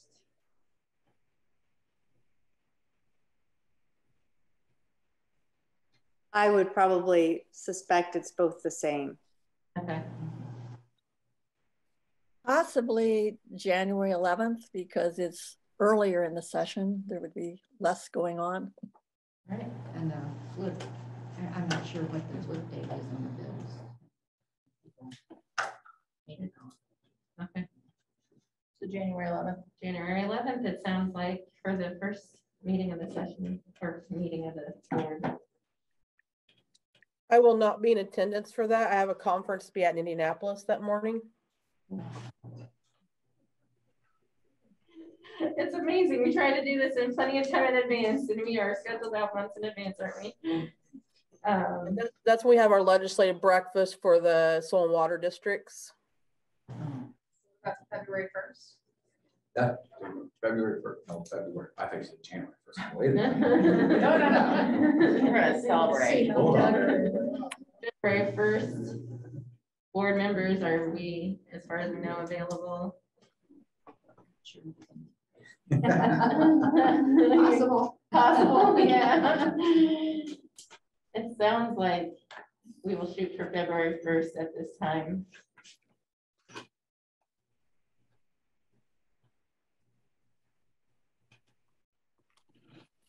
And all the other dates for the year, I know that those are well in advance, so hopefully those will be okay. And if not, we can adjust them. at the Yes, we meeting. can still adjust those. at the next meeting. Those are my final notes for other. I just think it's imperative we have the legislators here and involved as much as possible. Okay. Yeah. All right, it's been a long meeting. Um, Board members, thank you so very much for the effort and time you you spent reviewing the applications, going through the scoring process. Um, This has been a great round because we had a lot of new board members and we certainly appreciate all of your input. Kelly, I'd like to thank you for taking over when I can't. um, Voice an opinion on any applicant. Those of you in the gallery, thank you very much for your attendance. And again, if you were not awarded, please do not hesitate to reapply. As always, the biggest thanks and happy birthday in advance to Pat. Biggest thanks to staff. And we have to get a strawberry cake. Yeah. Those of you who have recused themselves today at the meeting, make sure to see um, Michael over there in the corner as well. And, and I want to also uh, send my thanks out to the board. We had every board member score the grants. And, and it's a fabulous effort. I know it takes time and energy, and I really appreciate it. And things you guys do for this board. We owe you a special thanks, Deanna. You're the leader and we appreciate everything that you put forth. So thank you so very much. Um, In closing, we need a motion to adjourn. Motion by Mr. Lutz, do I have a second? Second by Mr. Guerin. And because Ms. Henry's on the- the speaker, I guess we still have to do a roll call vote. Um, Ms. Uygar. Aye. Mr. Guerin. Aye. Mr. Noonan. Aye. Mr. Hackman. Aye. Mr. Lutz. Aye. Ms. Whitehead. Aye. And I vote aye, so motion carries unanimously. Thank you all. fair. You forgot that. That'll teach you, Terry, you need to come to the meeting. Uh, Ms. Henry.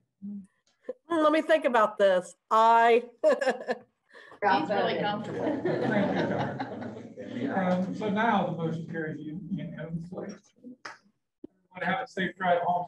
Thank you very much.